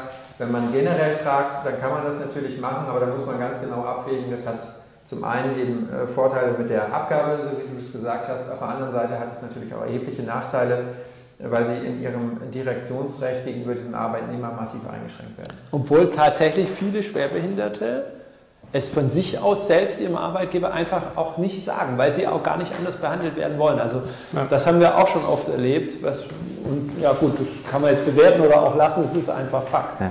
Ja. Mhm. Genau. So ist es. So, ähm, ja, die Frage nach dem Gesundheitszustand, ist die zulässig? Ähm, tatsächlich ähm, ist sie zulässig. Äh, man kann nach dem Gesundheitszustand fragen. Äh, da äh, ja, eine Beeinträchtigung vorliegen könnte, die äh, die Arbeit äh, dauerhaft oder, oder zumindest äh, teilweise ausschließt. Ähm, und hinzu kommt ja auch noch, dass die Gefährdung künftiger Kollegen vorliegen könnte, also die Ansteckungsgefahr. Ähm, auch wohl geplante Operation oder eine bewilligte Kur darf man nachfragen. Ähm, das wurde bereits in den 80er Jahren vom Bundesarbeitsgericht entschieden. Ja, kann man nach der Gewerkschaftszugehörigkeit fragen. Ähm, also äh, sind Sie bei Verdi aktiv? Ähm, diese Frage ist tatsächlich unzulässig, es sei denn, Sie sind eine Gewerkschaft. Achso, halt, halt, halt, halt. Hier war noch eine Frage. Das ist ja immer, wenn ich hier selber am Quatschen bin, dann lese ich immer den, den Chat nicht. Äh, hier fragt äh, jemand, äh, wie ist der Nachweis zu führen, dass er befragt wurde, der Schwerbehinderte. Also ich gehe mal davon aus, war damals noch die Frage, ne, fünf Leute, ich will fünf Leuten kündigen, ich frage fünf ja. Leute, seid ihr schwerbehindert? Jeder, der schwerbehindert ist, hebt mal bitte die Hand. Ich glaube, das wird nicht funktionieren, weil allein Datenschutz das verbietet, dass hier einer vor anderen offenbart, dass er schwerbehindert ist. Also wie sollte man das bestenfalls machen, dieses Befragen ja, und den Nachweis führen? Tatsächlich schriftlich. Also äh, da reicht, also es muss nicht handschriftlich sein oder eben halt als, als, als entsprechender Brief, sondern auch da würde sicherlich ein E-Mail E ausreichen. Sind Sie schwer, dann kommt die Antwort ja, nein. Ähm, äh, aber äh, Sie müssen das schon dokumentieren. Einfach äh, zu behaupten, wir haben ihn gefragt oder er hat Nein gesagt und er würde behaupten, ich wurde nie gefragt, dann bleiben Sie dem Beweis schuldig.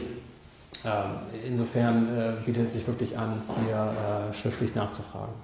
Genau, Sie sind halt nachweispflichtig dann ja auch, ähm, wenn Sie sich auf diesen Ausschluss dann halt äh, stützen, dass Sie sagen, ich habe ihn gefragt, das ist ja für Sie eine positive Eigenschaft, ähm, da sind Sie natürlich dann nachweispflichtig. Also müssen Sie es am besten irgendwie schriftlich dokumentieren. Genau, so ist es. Ja, was mit der Frage nach der Heirat? Also vor allem wird es an weibliche Bewerber gerichtet. Ähm, diese Frage ist tatsächlich auch unzulässig. Äh, es besteht diesbezüglich kein berechtigtes Interesse des Arbeitgebers. Ähm, ja, kann er nach Lohnpfändung fragen? Ähm, grundsätzlich nicht. Also mit anderen Worten, sind Sie pleite, haben Sie geht monatlich was äh, zwangsweise von Ihrem Konto ab. Äh, diese Fragen sind unzulässig. Äh, es sei denn, es ist eine besonders zulässige, äh, zuverlässige Vertrauensperson gefordert. Also sprich, ähm, Sie äh, haben eine Bank und, und dort ist eben halt jemand für Vermögens, für Vermögensdinge zuständig. Den müssen Sie, den können Sie entsprechend befragen, ob er ein, ja, ob er ein geregeltes geregelte finanzielle Situation hat. Genau, ich hatte, ich hatte auch mal ähm, eine Mitarbeiterin, äh, die hatte ich nicht selbst, also einen Mandanten, äh, der hatte eine Mitarbeiterin, die war für ähm, seine privaten Buchungen und alles weitere halt verantwortlich und äh, da ist es so gewesen, dass sie erhebliche Lohnpfändungen ähm, halt gegen sich laufen hatte und ähm, da ist es wirklich so, dass es, ähm, ich weiß nicht, ob es vom BAG entschieden worden ist oder auf jeden Fall schon mal von irgendeinem LAG, dass das dann halt auch ähm, ein personenbedingter Kündigungsgrund eben sein kann unter Umständen, wenn diese Person halt keine äh, geregelten Einkommensverhältnisse hat. Hat mich so auch erstmal überrascht, aber ähm, ist anscheinend schon mal irgendwie gerichtlich Thema gewesen und da gibt es auch Urteile zu. Ja. So ist es. Ähm, ja, etwas, was wahrscheinlich heute nicht mehr so interessiert, äh, und zwar Tätigkeit für die Stasi, für das Ministerium für Staatssicherheit. Ähm, diese Leute dürfen mittlerweile fast alle in Rente sein, aber kann ja durchaus mal passieren. Ähm, ist für privaten Arbeitgeber nicht entschieden worden, für den Arbeitgeber im öffentlichen Dienst. Ähm, da äh, ist die Frage als zulässig anerkannt worden, also damit Sie es auch mal gehört haben. Ähm, was ist mit Nichtrauchereigenschaft? Dürfen Sie fragen, ob jemand Nichtraucher oder Raucher ist? Ähm, diese Frage ist tatsächlich auch unzulässig. Ähm, wir äh, haben natürlich die Situation, dass in vielen Betrieben äh, Regelungen zu Rauch, Rauchen getroffen wurden. Die sind zu beachten, ganz klar. Aber äh, mit einer Frage beim Einstellungsgespräch äh, können Sie dennoch nicht kommen. Äh, da darf der Arbeitnehmer tatsächlich auch lügen. Er muss sich dann aber natürlich später auch an die Vorschriften, die im Betrieb gelten für, für Raucher, muss er sich halten. Ja, weitere Einzelfälle, Parteimitgliedschaft. Ähm, auch hier besteht kein Interesse des Arbeitgebers daran zu erfahren, äh, an welcher Partei äh, der Arbeitnehmer ist, wenn er überhaupt in einer Partei ist. Ähm, äh, diesbezüglich kann er auch lügen, allerdings äh, nicht dann, wenn Sie selbst eine Partei sind. Also stellen Sie sich vor, Sie sind die SPD oder stellen jemanden ein, ähm, dann können Sie danach fragen, ob er eventuell in der CDU ist. Ähm, dann wäre es halt zulässig. Ja, Frage nach der Qualifikation hatten wir eingangs auch schon, ist stets zulässig. Ähm, die äh, muss wahrheitsgemäß beantwortet werden. Ähm, kommt noch, Entschuldigung, dass ich äh, dich unterbreche, kommt noch die ähm, Kirchenzugehörigkeit? Ist das ist jetzt genau der nächste Punkt. Ah, siehst du. genau, Religionszugehörigkeit. Ähm, ist grundsätzlich unzulässig. Äh, also es interessiert als sozusagen normalen weltlichen Arbeitgeber nicht, ob sie ähm, äh, welche Religion der Arbeitnehmer angehört. Äh, es sei denn, sie sind ein kirchlicher Tendenzbetrieb, also sprich ein kirchliches Krankenhaus, ähm, die Kirche selbst, Kindergärten, kirchliche Schulen oder kirchliche Pflegeheime. Dann darf diese Frage gestellt werden. Ähm, die Frage ist, ob dann die Einstellung davon abhängig gemacht werden kann. Dass, äh, ich habe da äh, Änderungen jetzt in der Rechtsprechung so schrittweise bemerkt. Ähm, das BRG weicht das langsam auf, äh, dass eben halt auch andere Konfessionen dort beschäftigt werden dürfen und dass das dann für sich genommen kein Kündigungsgrund oder ein Einstellungshindernis darstellt. Mal schauen, wo da die Reise hingeht. Ja, das war auch kürzlich das Urteil hinsichtlich des Chefarztes, der sich hat scheiden lassen, lassen genau, was ja. früher ja. Klassiker war dafür, dass wenn ich eben in so einem katholischen äh, Verein angestellt war, ja. dass ich dann auch meinen Job verloren habe, auch als Chefarzt. Da haben sie es ja aufgehoben und haben genau. gesagt, naja gut, solange jetzt auch die ähm, ja, Pflegerin, die sich hat scheiden lassen, nicht entlassen wird, dann darf der Chefarzt auch nicht entlassen werden, obwohl da der Entlassungsgrund wahrscheinlich ein anderer war. Als eigentlich das sich scheiden lassen. Ja, Aber nichtsdestotrotz interessante Entscheidung. Genau. Vom BG vor zwei Jahren, glaube ich, entschieden, ne? so in der Pandemie. Ja. ja, genau.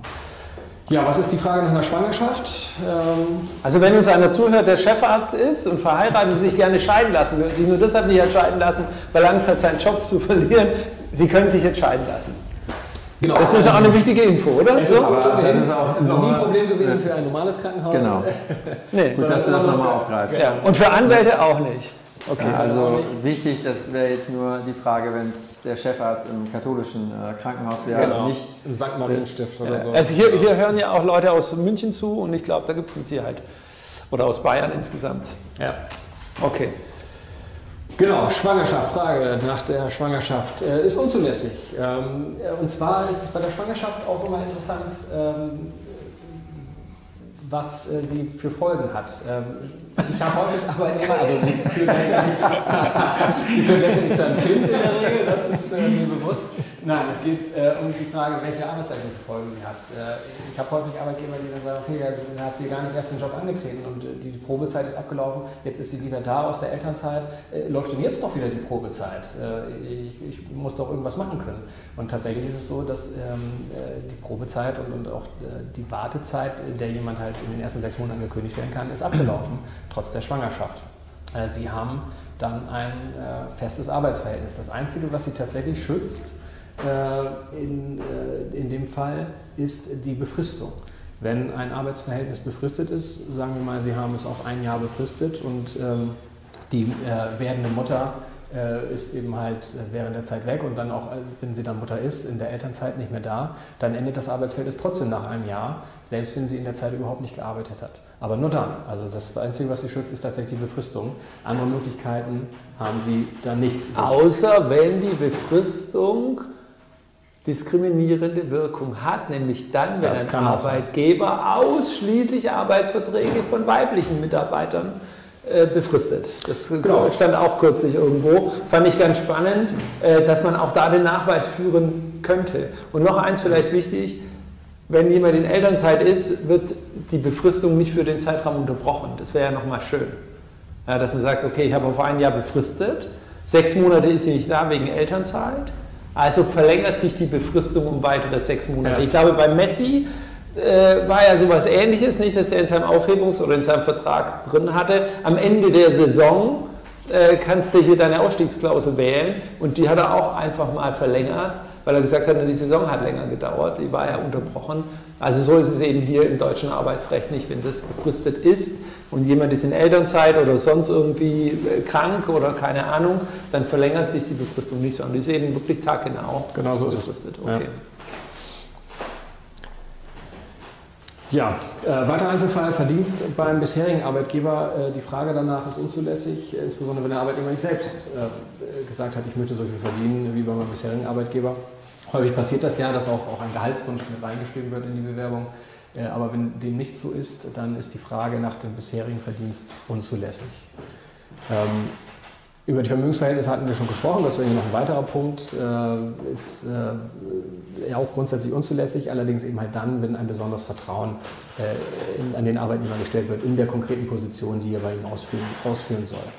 Ähm, wenn jemand zum Beispiel die Buchhaltung bei Ihnen erledigt oder ähnliches, dann kann auch danach gefragt werden.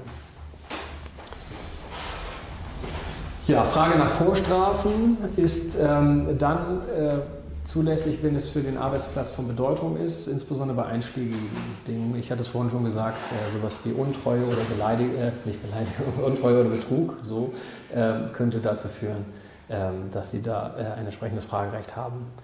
Ähm, die Frage nach dem Wehrdienst, haben Sie gedient, ist äh, unzulässig, hat keine Bedeutung äh, für das Arbeitsverhältnis und würde unter Umständen eine Diskriminierung männlicher Bewerber darstellen. Nach Wettbewerbsverboten dürfen Sie fragen und sollten Sie auch, ähm, weil, ähm, wie schon bei der Offenbarungspflicht auch, führt es dann dazu, wenn ein Wettbewerbsverbot äh, Verbot besteht, dass der Arbeitnehmer unter Umständen die Arbeit bei Ihnen gar nicht antreten kann äh, oder sie halt wieder unterbrechen muss und sogar der frühere Arbeitgeber einen Unterlassungsanspruch gegen Sie als neuen Arbeitgeber hat, den Arbeitnehmer zu beschäftigen. Ich habe hier noch, ich habe hier noch äh, Fragen. Ja. Inwieweit hat eine Schwangerschaft Einfluss bei einer betriebsbedingten Kündigung? Klammer auf, zum Beispiel Auflösung der Abteilung. Ich verstehe das so, ähm, ich möchte eine komplette Abteilung auflösen, ja. die gibt es einfach nicht, aber ja. so Leute, die mit Schraubenherstellung beschäftigt sind und gleichzeitig hm, habe ich noch einen Kindergartenbetrieb. Und ich sage, Schrauben mache ich nicht mehr, alles, was damit zu tun hat, stelle ich ein. Und jetzt ist da jemand, der schwanger, schwanger ist. Kann ich jetzt da kündigen? Wie sieht es da aus. Die Nachfrage ist auch, wie ist es bei Auszubildenden? Der Vertrag ist ja auch befristet. Also auch wenn ich jetzt einen Auszubildenden hätte und würde den Betrieb komplett, den Betriebsteil komplett auflösen. Ja. Vielleicht dazu noch. Also vielleicht zunächst zu Schwangeren. Äh, bei Schwangeren ist es so, dass äh, sie natürlich auch gekündigt werden können, nur mit Zustimmung des zuständigen Gewerbeaufsichtsamtes.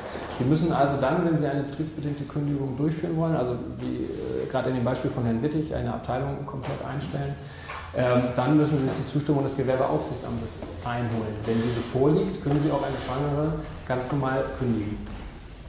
Und äh, bei Auszubildenden ist es so, dass Sie nach dem Ablauf der maximal viermonatigen Probezeit äh, nur noch fristlos, außerordentlich fristlos gekündigt werden können. Äh, wenn Sie eine Betriebsstilllegung haben, dann wäre das tatsächlich ein solcher fristloser Kündigungsgrund. Vielleicht mit sozialer Auslauffrist, darüber müsste man nochmal nachdenken, ob man tatsächlich den Auszubildenden dann zwar außerordentlich fristlos kündigt, aber eben halt mit einer entsprechenden ähm, Auslauffrist von vielleicht einem oder zwei Monaten äh, angepasst an den übrigen Mitarbeitern. Ähm, auch dann könnte man einen Auszubildenden entsprechend kündigen. Aber die Frage ist ja, wann kriege ich die Zustimmung vom Gewerbeaufsichtsamt, wenn ich eine Schwangere kündigen will? So viel ich weiß, ist es natürlich so, wenn ich einen Betrieb komplett schließe, kriege ich auch immer die Zustimmung. Ja. Ähm, normalerweise kriege ich bei Schwangeren eben die Zustimmung nicht. Das ist schwierig, ja. Äh, aber wenn ich wirklich zumache, dann schon. Also ich hatte kürzlich eben auch den Fall, dass jemand den Betrieb komplett stillgelegt hatte und dann meinte, aber ich, er kann den Betrieb gar nicht stilllegen, weil die ja, sei ja jetzt noch schwanger, sie müsste jetzt dann noch ein, ein Jahr weitermachen äh, und danach ist sie in Elternzeit. Da haben wir ja genau die gleichen oder ähnlich schwere äh, Kündigungsvorschriften. Klar, aber wenn ich den Betrieb stilllege, dann kriege ich da auch die Zustimmung. So ist es. Es kann natürlich bei einer Teilbetriebsstilllegung kann es anders sein, äh, gerade wenn die Möglichkeit einer anderweitigen Beschäftigung der, der Schwangeren besteht. Ähm, aber äh, bei einer äh, gänzlichen Stilllegung des Betriebs äh, wird die Zustimmung des Gewerbeaufsichtsamtes auch erfolgen. Ja, gut, bei der Teilstilllegung werden wir natürlich wirklich intensiv gucken, ob sie nicht an einer anderen Stelle weiter beschäftigt werden kann und nicht dafür eher jemand anders gekündigt werden ja. müsste. Um einfach die Sozialauswahl müssen wir dann etwas weiter fassen. Das sind aber dann tatsächlich die, die besonders kniffligen Fälle. In der Tat. Okay. Ja, jetzt komme ich zum Abschluss meines Teils, ähm, nämlich nochmal kurz äh, auf ähm, den, die Frage des Datenschutzes im Bewerbungsverfahren. Äh, da hat sich seit Einführung der DSGVO einiges getan. Dann sind Sie dran. Ähm, und zwar äh, ist äh, spätestens ab Erhalt der Bewerbung ein äh, Arbeitnehmer entsprechend zu informieren. Und zwar darüber, über Name und Kontaktdaten des Verantwortlichen für Datenverarbeitung, über Zwecke und Rechtsgrundlage der Verarbeitung, über Dauer der Speicherung, über die Rechte des Betroffenen nach, nach Artikel 15, 18, 21 DSGVO, das Beschwerderecht bei einer Aufsichtsbehörde. Also ähm, diese Dinge habe ich jetzt mal eben so runtergerattert, aber ähm, Sie müssen tatsächlich grundsätzlich einen Bewerber nach DSGVO informieren. Ähm, das ist Ihre Verpflichtung. Ähm, wenn Sie halt die Bewerbung haben, äh, können Sie die Daten dann auch entsprechend verarbeiten. Eine Einwilligungserklärung des Bewerbers ist dafür nicht erforderlich. Ähm, allerdings äh, können Sie die Bewerbung nicht ewig lang aufbewahren, sondern Sie müssen sie nach Abschluss des Bewerbungsverfahrens komplett vernichten. Äh, man könnte darüber nachdenken, ob gerade auch zum Ausschluss von ähm, Klagen nach dem Allgemeinen Gleichbehandlungsgesetz Sie noch das Recht haben, ähm, die zwei Monatsfrist, äh, nach der solche Ansprüche geltend gemacht werden können, die Daten noch aufzubewahren, die Bewerbung also. Aber spätestens nach, dem Ablauf von zwei Monaten sind die Bewerbungen dann zu vernichten. Und ähm, ja, das können Sie alles dann noch, noch mal nachlesen in den Unterlagen, die wir Ihnen zuschicken. Ähm, ich würde jetzt abgeben an Herrn Kremer, ähm, der jetzt Ihnen dann zu den Arbeitsvertragsklauseln einiges sagen wird. Ich bedanke mich für Ihre Aufmerksamkeit und hoffe, es hat Ihnen äh, Spaß gemacht und wir haben einiges gelernt. Und äh, sollten noch weitere Fragen kommen, ich bin jetzt auf dem Chat noch äh, da und werde mich weiter einklinken. So, ähm, ich muss gucken, werde ich gut gesehen? Alles klar. Ähm, ja, ich bin Herr Krämer, ich mache heute den zweiten Teil. Ich habe jetzt nicht mehr ganz so viel Zeit ähm, und ich habe auch äh, Vorhin haben Sie ja mitbekommen, äh, dass es mit der Technik nicht ganz so gut klappt. Das heißt, äh, wir haben jetzt nicht die einzelnen Klauseln, die ja dann vielleicht arbeitsvertraglich irgendwie wichtig wären. Ähm, die können wir Ihnen jetzt so nicht präsentieren, aber ähm, Sie kriegen natürlich diesen Vortrag halt auch im Nachgang eben zugeschickt und können sich dann halt nochmal die einzelnen Klauseln eben angucken. Für mich ist es eigentlich auch gar nicht so wichtig, die Klauseln jetzt zu haben, weil ich Ihnen ja insgesamt was über Arbeitsverträge erzählen möchte. Und da muss man sagen, so in der Praxis ist es eigentlich so, ähm, dass Arbeitsverträge eigentlich eher immer so ein bisschen stiefmütterlich behandelt werden.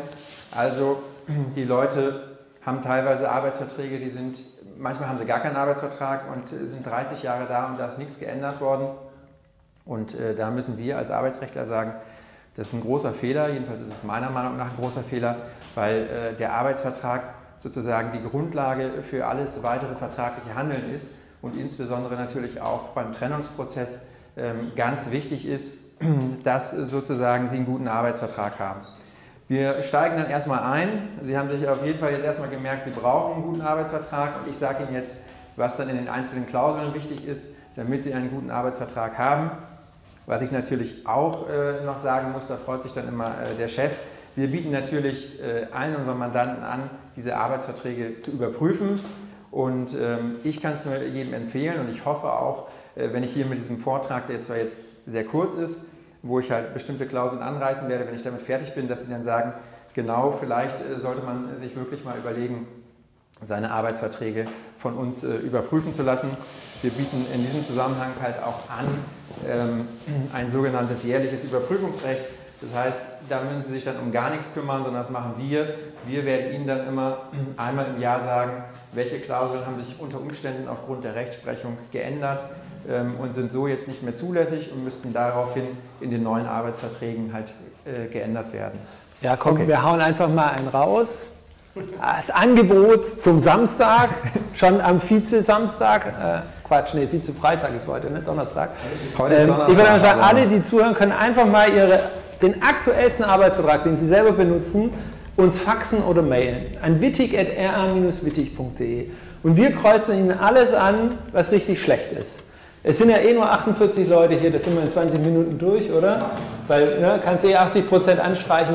Also, und wenn Sie dann aber wissen wollen, was falsch ist, das kostet natürlich Geld. Nee, da kommen wir mit Sicherheit aufeinander zu. Aber nehmen Sie das wahr, schicken Sie uns einfach Ihren aktuellsten Arbeitsvertrag zu. Wir gucken einfach mal nur so summarisch rüber und kreuzen Ihnen das an, äh, was schwierig ist. Außer wir haben den Arbeitsvertrag natürlich gemacht, dann bitte nicht zuschicken. Wäre ein bisschen peinlich, wenn Sie uns unseren eigenen Arbeitsvertrag schicken und wir dann ankreuzen, was alles falsch ist.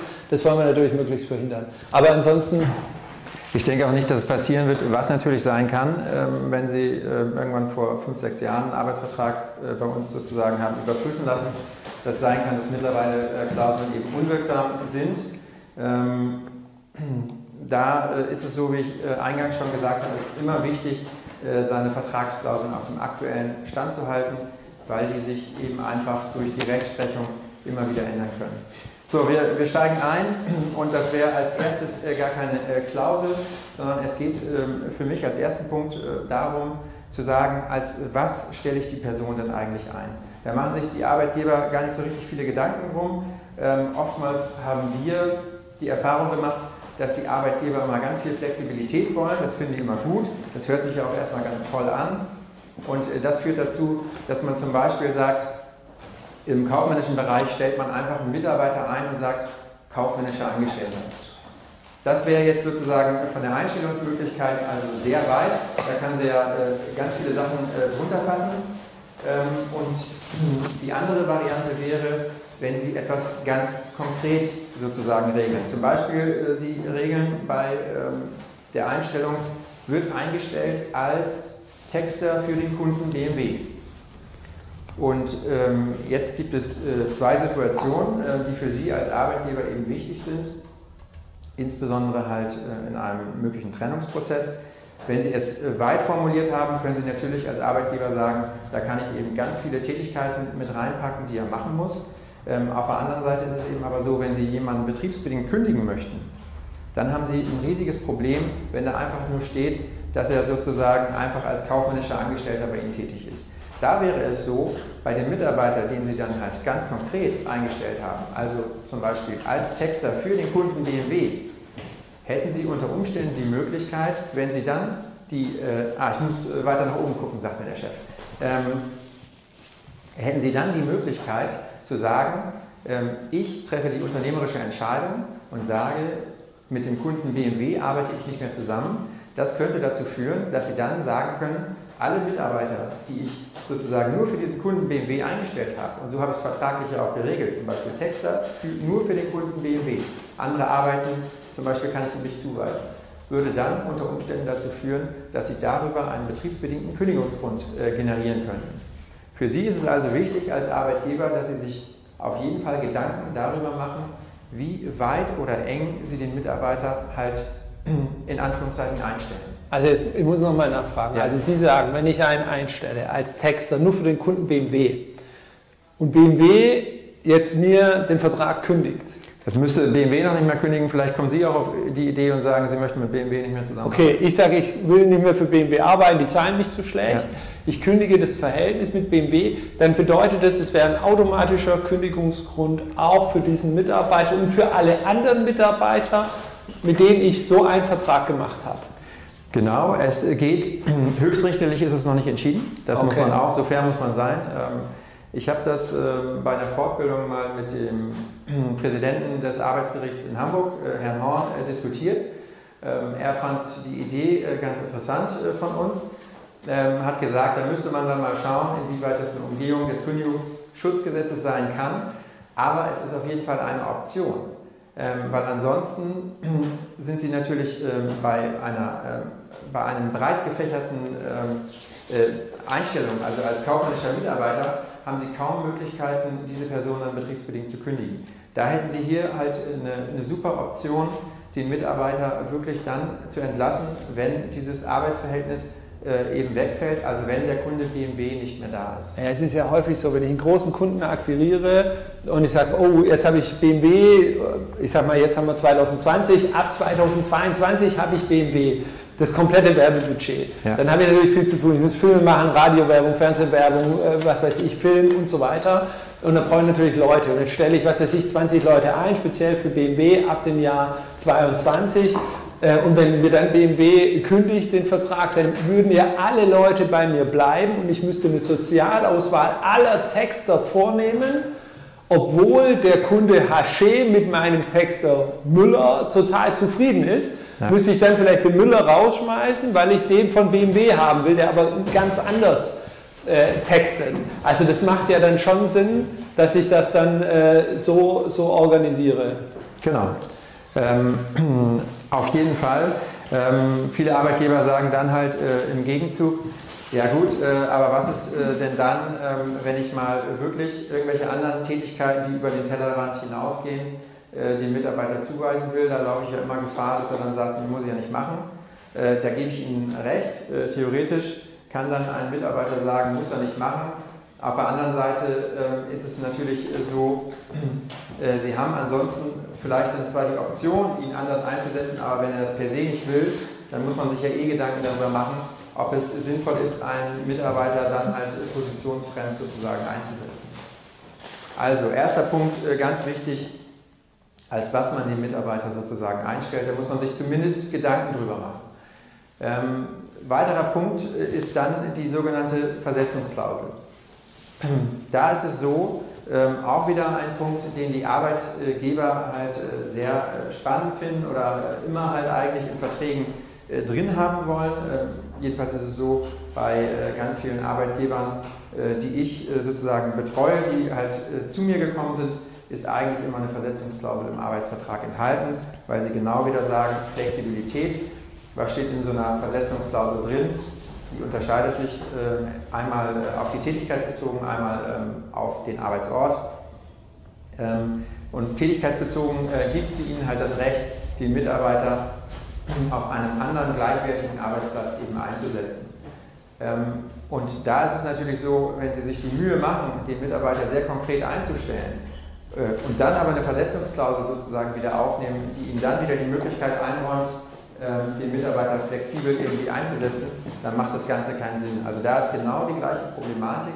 Wenn Sie so eine Versetzungsklausel in den Arbeitsvertrag aufnehmen, dann können Sie den Mitarbeiter sicher flexibler einsetzen, haben aber auf der anderen Seite massive Probleme bei einer betriebsbedingten Kündigung, weil Sie dann nicht per se sagen können, wenn dieser eine Arbeitsplatz weggefallen ist, dass genau dieser eine Mitarbeiter gehen muss, sondern Sie haben dann immer das Problem, dass dann unter Umständen halt noch auf der gleichen Ebene ganz viele andere Arbeitnehmer sind, die sie eigentlich gar nicht entlassen wollen, mit denen er dann aber vergleichbar ist aufgrund dieser Versetzungsklausel, dann müssen sie in die Sozialauszahlung. Also wir haben hier noch, noch eine Frage. Ich glaube, die haben wir aber schon fast zum Teil beantwortet. Nehme ich mir bei einer solch genauen Tätigkeitsbezeichnung nicht die Möglichkeit, diesem Mitarbeiter auch andere Aufgaben zuzuordnen? Ich, ich ich kenne die Frage, weil die Versetzungsklausel ist auch eins meiner ja. Lieblingsthemen. Äh, also wenn Sie einen Mitarbeiter in Bremen beschäftigen und der will nicht nach Rostock.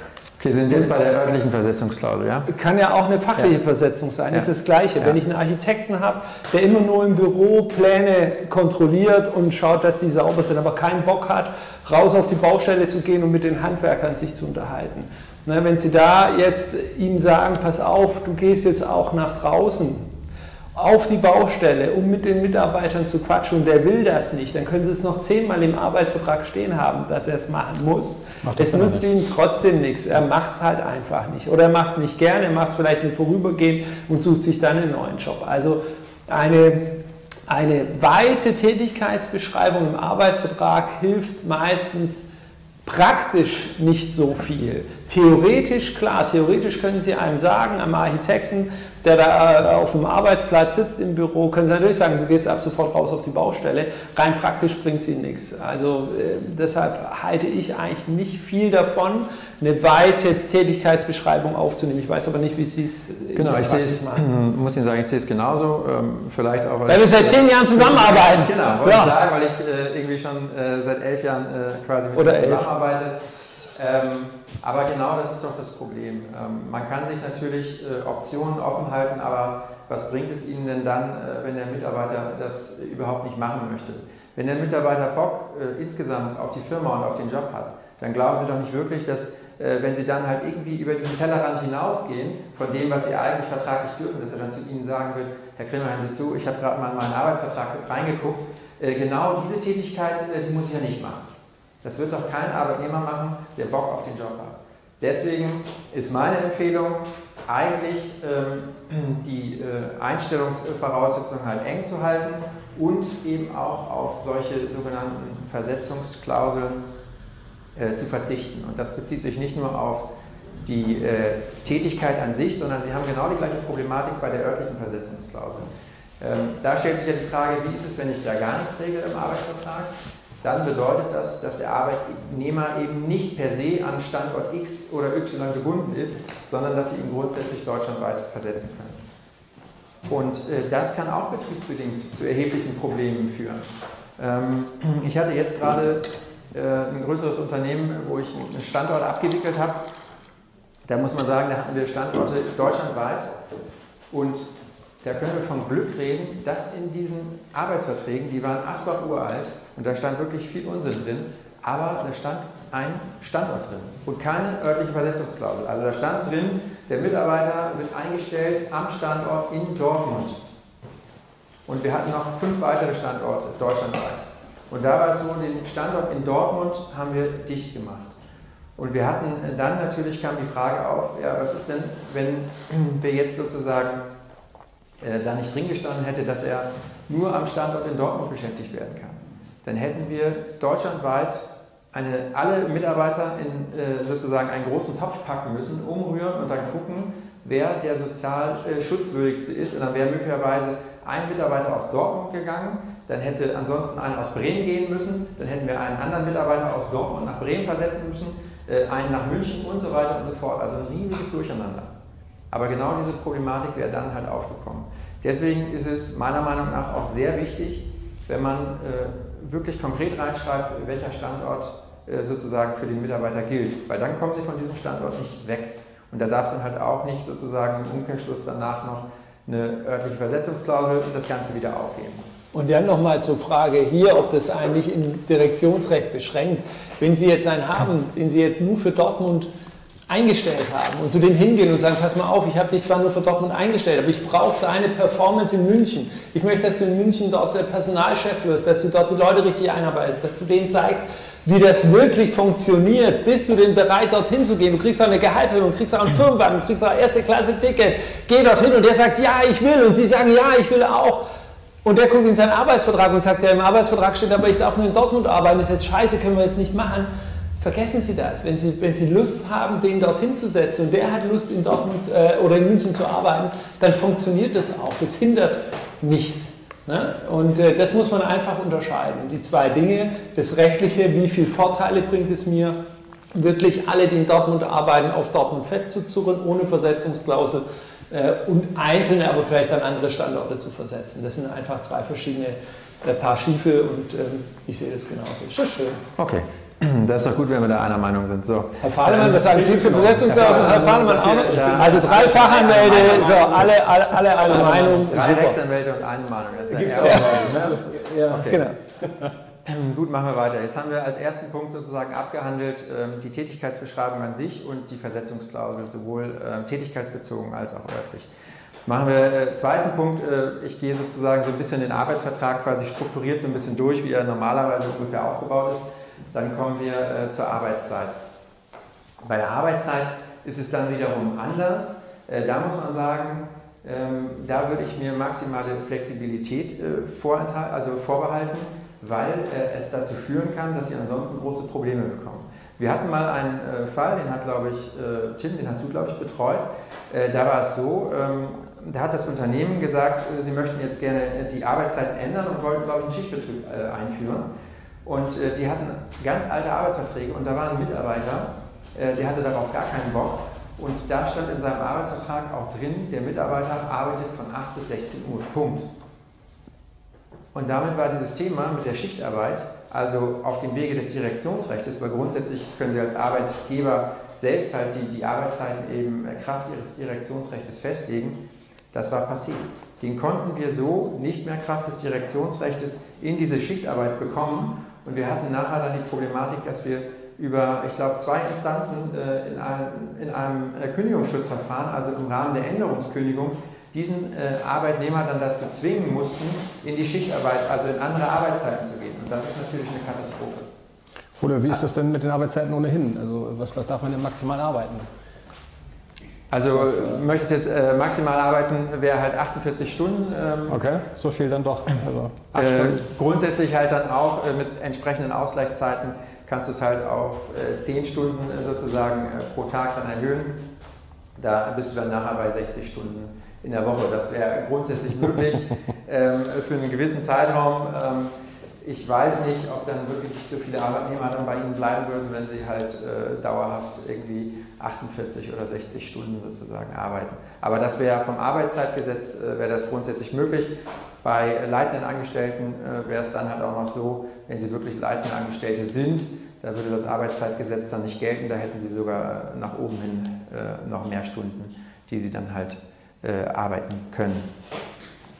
Also aber wichtig ist, äh, um nochmal zurückzukommen, für Sie, Sie Sie müssen äh, sich gerade bei der Arbeitszeit dann wiederum die Flexibilität äh, vorbehalten. Das bedeutet nicht, dass Sie nicht sagen können, der Mitarbeiter arbeitet meinetwegen zur Zeit von 8 bis 16 Uhr, aber äh, es ist wichtig, dass Sie dann äh, zum Beispiel halt noch den Satz äh, hinzufügen und sagen, äh, wir behalten uns ausdrücklich vor, diese Arbeitszeiten eben wieder zu ändern. Ne, das ist ganz wichtig. Als weiterer Punkt, wenn wir diesen ähm, Vertragsteil durchgehen, wäre dann das nächste die sogenannten Überstunden. Ähm, da kann man als Arbeitgeber eine böse Überraschung äh, erleben, wenn man im Arbeitsvertrag nicht geregelt hat, dass man berechtigt ist, Überstunden anzuordnen. Denn dann ist es so, dass Sie das Kraft Ihres Direktionsrechts nicht anordnen können. Das bedeutet, Sie sind dann immer auf das Goodwill des Arbeitnehmers angewiesen, es sei denn, die ganze Bude brennt ab, äh, wenn Sie Überstunden anordnen wollen. Deswegen ist es ganz wichtig, dass Sie in Ihrem Arbeitsvertrag eine Regelung drin haben, dass Sie berechtigt sind, Überstunden anzuordnen. Das heißt, ich kann, wenn ich einen ähm, Mitarbeiter habe und einen Vertrag, da steht nichts über Überstunden drin, dann kann ich äh, nicht sagen, du machst heute eine Stunde mehr. Ich kann, ich kann das sagen, ja. ähm, aber der Mitarbeiter kann dann selbst entscheiden, ob er es machen will. Okay, also kann ich es nicht einseitig anweisen. Nein, genau. Okay. Das ist ein großes Problem. Ein weiteres Problem, was... Ja? Ich hätte aber noch eine Frage. Ja, genau, das Frage. ist das eine. Sie müssen gucken, wie Sie das dann nachher für sich sortieren, die ganzen Fragen. Ähm, hier fragt jemand, ist bei einer Drei-Tage-Woche 27 Stunden, 9 Stunden pro Tag dauerhaft möglich? Also kann ich das sagen, 9 Stunden am Tag dauerhaft möglich? Neun, wenn ich insgesamt neun Stunden, Stunden wäre möglich, ja. Okay, also gut, dann ist die Frage auch beantwortet. Wie sieht es mit Dienstreisen aus? Ich verstehe das so, wenn die Dienstreise jetzt plötzlich zwölf also, Stunden dauert. Bei der Dienstreise haben wir ja immer ähm, ein großes Thema sozusagen. Äh, da streiten sich ja die, die Geister oder die Gelehrten immer darüber, ähm, ist das Arbeitszeit ähm, oder eben nicht. Ähm, was jetzt sozusagen in der Rechtsprechung auch ganz viel diskutiert wurde, ist gar nicht die Frage der Arbeitszeit, sondern der Vergütung. Ähm, da muss man halt immer unterscheiden. Das eine ist, ähm, bei den Dienstreisen die Frage nach der Arbeitszeit, nach dem Arbeitszeitgesetz und das andere ist die Vergütungspflicht. Bei der Vergütungspflicht ähm, gibt es neuere Rechtsprechung, die sagt, dass man eigentlich Dienstreisen halt äh, immer vergüten muss. Und äh, die Problematik bei der Arbeitszeit ist eine andere. Da müssen Sie nämlich schauen, ob der Arbeitnehmer sozusagen wirklich arbeitet. Ne? Und wenn er jetzt äh, mit dem Flugzeug irgendwie fliegt und während dieser Zeit keine Arbeitsleistung erbringt, sondern halt einfach nur rumhängt, äh, schläft, äh, Zeitung liest oder irgendwas, dann ist das keine Arbeitszeit nach dem Arbeitszeitgesetz. Das bedeutet aber nicht, dass Sie es nicht vergüten müssen. Aber es ist dann so, äh, wenn Sie jetzt jemanden zur Messe schicken, wäre es ja auch irgendwie ziemlich schwierig. Sie schicken ihn meinetwegen nach München zur Messe, er fliegt dann mit dem Flugzeug hin, ist dann irgendwie nach fünf Stunden oder nach sechs Stunden erst da und dann geht die Messe los und dann sagt er zu Ihnen, ja, sorry, ich kann jetzt ja gar nicht mehr arbeiten, weil bald ist meine Arbeitszeit voll und ich kann ja maximal an einem Tag zehn Stunden arbeiten. Also das ganz klare Empfehlung, unterscheiden zwischen vergütungspflichtiger Zeit und Arbeitszeit nach dem Arbeitszeitgesetz. Das sind zwei unterschiedliche Genau, das ist keine Empfehlung, sondern das ist halt einfach quasi die Rechtslage. Ne? Sie müssen immer unterscheiden. Das eine okay. ist die Frage nach dem Arbeitszeitgesetz und da kommt es wirklich darauf an, ob der Mitarbeiter eben äh, eine, eine Tätigkeit äh, erbringt oder sozusagen Erholung hat, dann äh, dürfte es halt nicht in den Bereich des Arbeits, der Arbeitszeit im Rahmen des Arbeitszeitgesetzes zählen und das andere ist die Vergütungsfrage generell. Dann ist noch eine Frage da, wenn man jetzt feststellt, dass der Arbeitsvertrag, den die Leute alle haben im Betrieb, dass der Kacke ist. Was mache ich denn dann? Kann ich dann einfach einen neuen Arbeitsvertrag den Leuten überstülpen oder wie funktioniert das? Das ist ja eine spannende Frage, die immer wieder kommt. Wir müssen unterscheiden zwischen den Arbeitsverträgen, die schon die bisherigen Arbeitnehmer haben. Wenn die schlechte Klauseln haben, wie gehe ich damit um? Und ich muss äh, prüfen, was mache ich mit Leuten, die ich jetzt noch neu einstellen will, wie gehe ich mit denen um? Jetzt konzentrieren wir uns mal auf die, auf die alten Mitarbeiter. Was, ja. wie, wie schafft man das? Ähm, bei, den, bei den alten Mitarbeitern ist es natürlich so, ähm, es mag Regelungen im Arbeitsvertrag geben, da äh, könnten Sie sozusagen Kraft Ihres Direktionsrechts Änderungen halt vornehmen. Das wird aber sicherlich nicht der Großteil der Klauseln sein. Äh, und bei den anderen Klauseln ist es eben so, da brauchen Sie auch das Einverständnis des Arbeitnehmers. Und äh, das ist natürlich schwierig. Ähm, die Erfahrung zeigt es so ein bisschen, dass bei Arbeitnehmern ähm, per se, wenn man äh, irgendwelche Änderungen im Arbeitsvertrag vornehmen will, eine große äh, Unsicherheit oder ähm, äh, dann eben herrscht und dann eher so reflexartig gesagt wird, nee, was Neues unterschreiben mache ich nicht. Dann müssen Sie sich natürlich Gedanken machen, welche Druckmittel Sie haben. Und wenn als Beispiel zum Beispiel, wenn als Beispiel zum Beispiel die nächste Gehaltserhöhung ansteht oder irgendwelche anderen Sachen, die für den Arbeitnehmer positiv sind, dann ist das natürlich ein Einfalltor, um dann zu sagen, okay, ähm, können wir machen, Gehaltserhöhung ja, aber dann halt eben auch mit einem entsprechend angepassten Arbeitsvertrag. Das wäre jetzt äh, ein Punkt, wo ich sagen würde, da sollte man äh, auf jeden Fall mal sich als Arbeitgeber notieren, okay, ähm, der Arbeitnehmer will auch was von mir oder ich tue ihm was Gutes, dann möchte ich aber halt auch im Gegenzug ähm, neue Klauseln im Arbeitsvertrag haben. ich finde es ich, ich auch. Also es geht zum Beispiel darum, wenn man feststellt, dass es wirklich schlimme Klauseln sind, die falsch sind, dass man dann zum Beispiel lieber einen Tag mehr Urlaub verspricht und sagt, hey komm, es gibt jetzt hier neue Urlaubsregelungen, ein, zwei Tage mehr Urlaub, hier hast du den Vertrag neu, den bitte unterschreiben, dann hast du auch, was weiß ich, 30 Tage Urlaub. Man sollte natürlich aufpassen, dass man da nicht jede Klausel anfasst, sondern wirklich nur die Klauseln anfasst, die für den, ähm, die für den Arbeitgeber einfach, einfach wichtig sind. Sie stehen hier ganz seltsam im Bild, aber das macht nichts. Ähm, ich wollte die Frage lesen. also, dann müssen Sie, ähm, da sich also wirklich gut überlegen, ob man jede Klausel anfasst, auch die, die nicht so wichtig ist. Wir empfehlen in der Regel, dass wenn wir bei Bestandsarbeitnehmern den Arbeitsvertrag ändern, dass wir uns wirklich nur zwei, drei Klauseln rausnehmen und, den, und, und die ändern. Weil damit kann er dann auch von mir aus zu einem ja. anderen Anwalt rennen, der sich das anguckt. Mit der Gefahr müssen Sie immer rechnen. Ähm, ansonsten eben bei Mitarbeitern, die nicht ganz so genau gucken, eben wirklich nur äh, die einzelnen äh, Klauseln ändern, die, die, die wichtig sind. Ja. Okay. Genau, dann ähm, mache ich jetzt wieder weiter bei ja. äh, der Arbeitszeit an sich. Wir hatten also ähm, äh, geregelt oder festgestellt, ja. Überstunden, da brauchen Sie eine entsprechende Anordnung, sonst können Sie die Überstunden nur mit Einwilligung des Arbeitnehmers anordnen.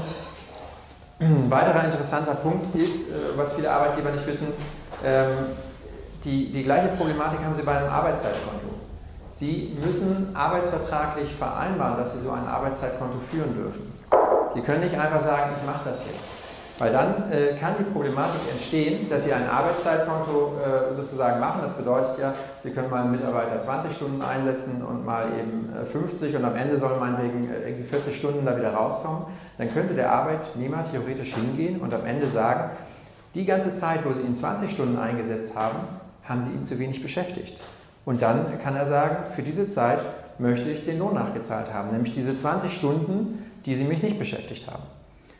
Also da ist es halt auch ganz wichtig, dass Sie im Vertrag regeln, wenn Sie ein Arbeitszeitkonto haben und das führen, dass sowas halt auch mit dem Arbeitnehmer vereinbart worden ist. Okay. Eine Frage war, die wurde ja. jetzt noch zurückgezogen wegen der Änderung des Arbeitsvertrages im laufenden äh, Arbeitsverhältnis, da war die Frage, ja, wie läuft es ohne Betriebsrat? Aber es ändert sich nichts. Selbst wenn ich einen Betriebsrat habe, kann ich arbeitsvertragliche Regelungen immer mit dem Arbeitnehmer direkt machen. Der Betriebsrat hat kein Mitspracherecht, grundsätzlich mal, bei den arbeitsvertraglichen Regelungen. Genau, Sie haben natürlich ähm, bei der Arbeitsvertragsgestaltung ähm, zwei Problempunkte, die man äh, schon beachten muss. Das ist auf einer Seite äh, möglicherweise ein Betriebsrat und auf der anderen Seite möglicherweise Tarifbindung. Ähm, bei der Tarifbindung ist es halt so, dass Sie ähm, sich dann natürlich an die tarifvertraglichen Vorgaben halten müssen. Sie können sozusagen nichts Abweichendes regeln, es sei denn, der Tarifvertrag sieht das vor, was sozusagen schlechter ist, als der Tarifvertrag es eh vorgegeben hat. Es sei denn, es sind besondere Öffnungsklauseln halt im Tarifvertrag enthalten. Und der andere Punkt ist, wenn Sie einen Betriebsrat haben, dann hat er kein äh, per se Mitbestimmungsrecht bei der äh, Vertragsgestaltung und bei den einzelnen Klauseln. Aber immer dann, wenn Sie halt in ein Mitbestimmungsrecht kommen, also wenn es zum Beispiel die Ordnung betrifft, dann kann der Betriebsrat Mitbestimmungsrecht geltend machen und dann müssen Sie halt auch sozusagen diese Klausel, die dann im Arbeitsvertrag steht, eben so regeln, wie der Betriebsrat es möchte, beziehungsweise man macht es dann natürlich ähm, nicht über eine einzelne Klausel im Arbeitsvertrag, sondern eben über eine Betriebsvereinbarung. Das, die Frage soweit beantwortet dann? Ich denke ja. ja. ja? Die Frage wurde außerdem zurückgezogen. Die war noch eine wurde zurückgezogen? Ja, die wurde zurückgezogen, aber ich habe sie trotzdem gebracht, weil ich finde es selber spannend. Das ist ja ein bisschen wie, äh, wie äh, ja. beim amerikanischen Gericht. Ne? Ja, er, er, er, wollte, er wollte es wissen, wie es ist ohne Betriebsrat und weil wir es ohnehin beantwortet haben ohne Betriebsrat, äh, war die Frage natürlich dann obsolet. Aber jetzt haben wir es okay. auch für die geklärt, die einen Betriebsrat haben, wie der Betriebsrat ein Mitspracherecht hat. Ich habe kürzlich beim Arbeitgeber äh, neue Arbeitsverträge vorgestellt und hat er gesagt, das macht er nur, wenn der Betriebsrat dabei ist. Und ich gesagt, was will der hier? Das hat denn eigentlich nichts anzugehen. Da war er ganz überrascht und gesagt, machen wir immer so. Also es gibt auch große Unsicherheit von Arbeitgebern im Umgang mit ihrem Betriebsrat. Kann man auch nur den Rat geben, frag mal einen Anwalt, der sich damit auskennt. Da ändert sich dann plötzlich einiges. Okay, also mein, Bildschirm, Thema heute. mein Bildschirm ist jetzt äh, schwarz. Muss ich jetzt davon ausgehen, dass ich nichts mehr sagen darf oder mache ich jetzt einfach erstmal weiter? Wahrscheinlich haben Sie die Zeit eingestellt auf, von der, von der Zeit her. Auf 11.59 Uhr. Äh, äh, ich würde jetzt einfach erstmal noch ein paar Minuten weitermachen. Oder wie ist die Anzeige? Ich glaube, es läuft, Herr, Herr Sportmann. Wie sieht das aus bei Ihnen? Haben Sie die Technik im Griff? Läuft, läuft noch weiter, weiter einfach? Es läuft, er, er, lässt uns noch ein bisschen. ich würde jetzt noch ein paar Minuten überziehen. Okay. Ähm, Und wehe, einer verlässt den Raum.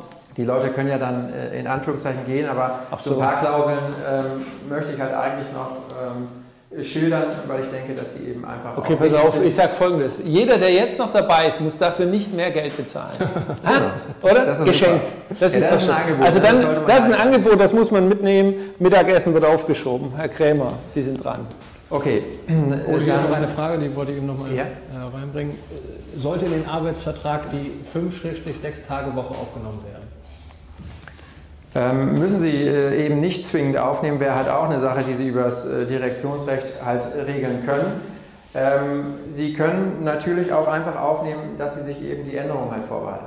Das wäre dann halt äh, die Alternative. Ne? Also Sie müssen nicht zwangsläufig sagen, dass eine 5- oder 6-Tage-Woche ähm, sozusagen bei Ihnen zur Anwendung kommt. Wenn Sie es aufnehmen, sollten Sie sich halt eine Änderungsmöglichkeit eben vorbehalten, weil wenn Sie einfach sagen, es gilt äh, in die Vier-Tage-Woche und sagen meinetwegen, der Mitarbeiter muss von Montag bis Donnerstag arbeiten und haben eben nicht die Option sich vorbehalten, diese, äh, diese Festlegung zu ändern, dann sind sie dran gebunden. Ja. Es sei denn, der Mitarbeiter spielt damit. Also ähm, genau die gleiche Problematik mit der, wie mit der Arbeitszeit an sich. Ähm, was noch interessant ist, was mir gerade einfällt bei der Arbeitszeit, du hattest ja vorhin gefragt, Tim, ob man, äh, wie viel man äh, generell arbeiten kann. Ähm, natürlich sollte man halt auch die Arbeitszeit an sich halt äh, eben eintragen.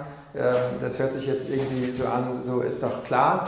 Ähm, wir haben aber ganz oft 450 äh, Euro Arbeitsverträge, wo äh, die Arbeitgeber einfach schlau sein wollen, indem sie sagen, ich trage da einfach mal nichts ein und dann ähm, beschäftige ich den Mitarbeiter die 450 Euro Kraft eben einfach nur nach Bedarf, weil steht ja nichts drin im Arbeitsvertrag. Und das ähm, war früher schon ein Eigentor und ist mittlerweile, ähm, weil sich die äh, Gesetzeslage im äh, Teilzeit- und Befristungsgesetz geändert hat, ein richtig großes Eigentor, weil wenn gar nichts drin steht, kann der Arbeitnehmer sich auf den Standpunkt stellen, wenn nichts geregelt ist, ist das eine Art Abrufarbeitsverhältnis und in 12 TZBFG ist jetzt aufgenommen, dass dann 20 Stunden in der Woche als vereinbart gelten. wenn Sie sich jetzt mal ähm, wie gesagt, Rechnen ist beim Anwalt meistens jetzt nicht so die Stärke, jedenfalls bei mir äh, auch nicht unbedingt, aber äh, soweit kriege ich das noch hin. Wenn Sie dann mal überlegen, 20 Stunden in der Woche äh, bei einem 450 Euro Arbeitsvertrag, äh, Monat hat 4,35 Wochen, da kommen Sie auf jeden Fall ähm, auf über 80 Stunden. Und wenn Sie dann noch überlegen, Mindestlohn, der irgendwo jetzt wahrscheinlich bei knapp 10 Euro liegt, äh, dann sind Sie ähm, bei einer Entlohnung von 800 äh, Euro und dann gibt es sicherlich Probleme äh, mit dem 450 äh, Euro Arbeitsvertrag. Also äh, da müssen Sie sich merken, ähm, auch solche kleinen Verträge in Anführungszeichen können Probleme machen. Und da sollte man auf jeden Fall sich Gedanken darüber machen, welche Stundenanzahl mal in so einen 450 Euro Arbeitsvertrag reinschreibt. Ja. Machen wir schnell weiter sozusagen. Ähm, nächster Klauselpunkt wären eigentlich jetzt die Sonderzahlungen. Ähm, bei den Sonderzahlungen ähm, ist dann halt immer die Frage nach einem sogenannten Freiwilligkeitsvorbehalt. Ähm, ich kann aus der Erfahrung sagen, ähm, die Rechtsprechung hat äh, diese Art von Freiwilligkeitsvorbehalt, also die Problematik, wenn Sie etwas über äh, die normale Vergütung hinauszahlen und sich dann sozusagen nicht binden wollen.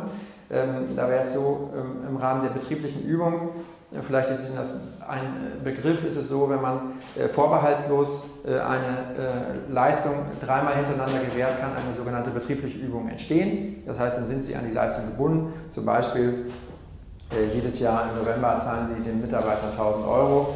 Das machen sie drei Jahre lang, da sind sie halt an diese 1000 Euro gebunden und kommen von diesen 1000 Euro grundsätzlich auch nicht wieder weg. Ähm, und da ist es oftmals so, dass man in einem Arbeitsvertrag einen sogenannten Freiwilligkeitsvorbehalt aufnimmt, wo dann drin steht, sollte ich mal ein Weihnachtsgeld zahlen im November, äh, dann ist es eine freiwillige Leistung, auf die äh, kein Rechtsanspruch besteht, auch bei wiederholter Zahlung in der Zukunft nicht. Ähm, das können Sie so machen. Ähm, bei den Freiwilligkeitsvorbehalten ist es aber so, dass die von der Rechtsprechung relativ stark zusammengekürzt sind. Die Rechtsprechung verlangt quasi, dass sie äh, das explizit auf die Zahlung halt auch passen muss. Sie können also jetzt nicht mehr, so war es früher, pauschal einfach reinschreiben, ähm, alle Ansprüche außer äh, dem äh, Gehalt sind freiwillige Leistungen und deswegen besteht sozusagen diese betriebliche Übung dann nicht, wenn ich es auch wiederholt zahle. Das geht so nicht mehr sondern äh, wir können nur empfehlen, die Klausel kann man gerne aufnehmen, aber bei jeder Leistung, die Sie sozusagen über dem normalen Gehalt erbringen, sollte ein extra Schreiben an den Arbeitnehmer dann halt äh, gewandt werden, äh, wo dann halt draufsteht, wo Sie hinweisen, dass es eben eine freiwillige Leistung ist, auf die kein Rechtsanspruch besteht. Also ich, ich kann mich erinnern an diese Rechtsprechung, als das relativ neu kam. Ja. Und man muss wirklich jetzt, wenn man so eine Klausel hat, hinschreiben, sollten wir jemals ein ja. Weihnachtsgeld bezahlen, sollten wir jemals ein Urlaubsgeld bezahlen, sollten wir jemals ja. ein äh, 13. Monatsgehalt bezahlen, was vielleicht nicht ein Weihnachtsgehalt ist, sondern vielleicht erst im Februar bezahlt wird oder was auch immer. Man muss es so genau bezeichnen, wie es nur geht, selbst wenn Sie zu dem Zeitpunkt noch gar nicht diese Zahlungen leisten. Vielleicht wollen Sie es in Zukunft mal. Und dann haben Sie was, was tatsächlich helfen kann. Es muss also wirklich haarscharf genau passen. Und wenn Sie irgendwann mal eine Zahlung leisten, wenn es ein Weihnachtsgeld ist im April und Sie haben im Vertrag drinstehen, wenn wir Weihnachtsgeld, das heißt eine freiwillige Leistung, dann nennen Sie die Zahlung im April eben Weihnachtsgeld. Dann funktioniert das auch. Aber es muss eben genau passen tatsächlich. Und früher war es auch noch so, die Rechtsprechung, wenn man dreimal bezahlt hat, ein Weihnachtsgeld, dann hängt man in der Falle, betriebliche Übung. Hat man dann dreimal nicht mehr bezahlt, war man wieder raus aus der betrieblichen Übung. Genau. Und diese Rechtsprechung. Negative betriebliche Übung gibt es halt nicht mehr. Ne? Abgeschafft. Ja. ja. Abgelehnt. Der Krämer sagt einfach abgeschafft, gibt es nicht mehr. Das ist aber das, was wir alle noch so ein bisschen im Kopf haben. Ich zumindest, so lange, bis man immer so einen Fall auf dem Tisch hat und nochmal genau prüft. Ähm, ist ein bisschen traurig, aber ja. Ist halt so. Genauso ähm, äh, war früher halt sehr beliebt sogenannte Stichtagsklauseln oder Rückzahlungsklauseln, ähm, wo man dann halt äh, sich vorbehalten hat, wenn der Mitarbeiter ab einem bestimmten Zeitpunkt zum Beispiel nicht mehr im Unternehmen ist, dass man dann äh, eine Sonderzahlung halt wieder äh, zurückfordern kann. Ähm, da ist die Rechtsprechung auch sehr streng geworden. Das geht nur noch bei Zahlungen, die ausschließlich die Betriebstreue belohnen. Ähm, also das müsste dann sozusagen schon genau in dieser Sonderzahlung geregelt sein, dass klar ist, das soll ausschließlich die Betriebstreue belohnen. Wenn Sie das nicht reinschreiben, kann man eigentlich immer äh, von einem Mischcharakter ausgehen, also dass auch die Arbeitsleistung ähm, belohnt wird und dann können Sie solche Rückzahlungsklauseln halt auch einfach nicht mehr vereinbaren. Uli, hier wird gerade die Frage gestellt, ähm, ja. wahrscheinlich nochmal zurück zum ähm, Thema ähm, betriebliche Übung. Ähm, kann dieser Hinweis auch als Fußnote in der jeweiligen Gehaltsabrechnung stehen? Ja, kann natürlich auch äh, als Fußnote in der Gehaltsabrechnung stehen, aber Sie haben dann immer das Risiko, ähm, in welche Kamera soll ich jetzt gucken? Da, da, was hätten Sie gerne? Die. Ähm, Sie werden dann immer das Risiko haben, dass ein Mitarbeiter unter Umständen sagen kann, das äh, habe ich gar nicht gesehen oder das ist äh, so klein, das, das konnte ich ja gar nicht sehen. Ähm, auf so ein Risiko würde ich mich nicht einlassen. Also wir empfehlen eigentlich immer bei äh, Leistungen, die sozusagen über das Normale hinausgehen, dass wir sagen, macht ein Anschreiben, wo genau drin steht, dass es eine freiwillige Leistung ist und dann lasst euch das von dem Arbeitnehmer entsprechend bestätigen, dass er es zur Kenntnis genommen hat, dann packen Sie das äh, in Ihre Personalunterlagen und dann zahlen Sie aus. Dann ist es safe. Ja, dass wir diese Überzahlung, da war kürzlich auch Bankversehen, ging ja auch durch die Presse, ich weiß gar nicht, ob Sie es mitgekriegt haben. Bankversehen, der hat irgendwie 200.000 Euro zu viel gekriegt oder 400.000 Euro. Hört sich ja wie bei Monopoly an. Ja, ja. Da kriegt er viel zu ihren Gunsten. So, genau. Aber das Problem ist, äh, er hat es natürlich gemerkt, 400.000 Euro, ist dann natürlich sofort in den Puff gegangen und äh, sonst wohin, hat dann die Hälfte dann auch noch verloren, 200.000 hat er so verloren. Natürlich kommt dann das Rückzahlungsschreiben, weil eben Endreicherung für alle Juristen hier unter uns, die wissen das, wenn sie also Geld bekommen und gar nicht wissen, dass es ihnen nicht gehört und so im normalen Zahlungsablauf mit reinkommen und sie es ganz normal verbrauchen, dann ist das Geld weg und sie müssen es nicht zurückzahlen. Also wenn man jetzt 200 Euro einen Mitarbeiter mehr bezahlt, also jetzt Herrn Krämer, der ja. wird auch 2000 Euro im Monat nicht merken, ne, dass er nee. plötzlich 2000 Euro mehr hat. Äh, und da gibt es auch so, geht zweimal essen mit seiner Frau, sind 2000 Euro weg. Ähm, ja, dann kann ich von ihm das Geld nämlich nicht zurückfordern tatsächlich, weil er nämlich entreichert ist in dieses Geld. Ähm, anders ist es bei, eben bei 400.000 Euro. Genau, was man, äh, wie man sich da so ein bisschen absichern kann, äh, ist natürlich, äh, Sie können eine Klausel aufnehmen, dass Sie sagen im Arbeitsvertrag, dass der Arbeitnehmer verpflichtet ist, äh, die Gehaltsabrechnung auf seine Stimmigkeit hin äh, immer stets zu überprüfen. Ähm, weil dann könnte er sich unter Umständen bösgläubig machen. Ne? Also genau. wenn ähm, dann ganz klar drinsteht, er muss es halt immer kontrollieren, äh, wozu er nicht per se verpflichtet ist.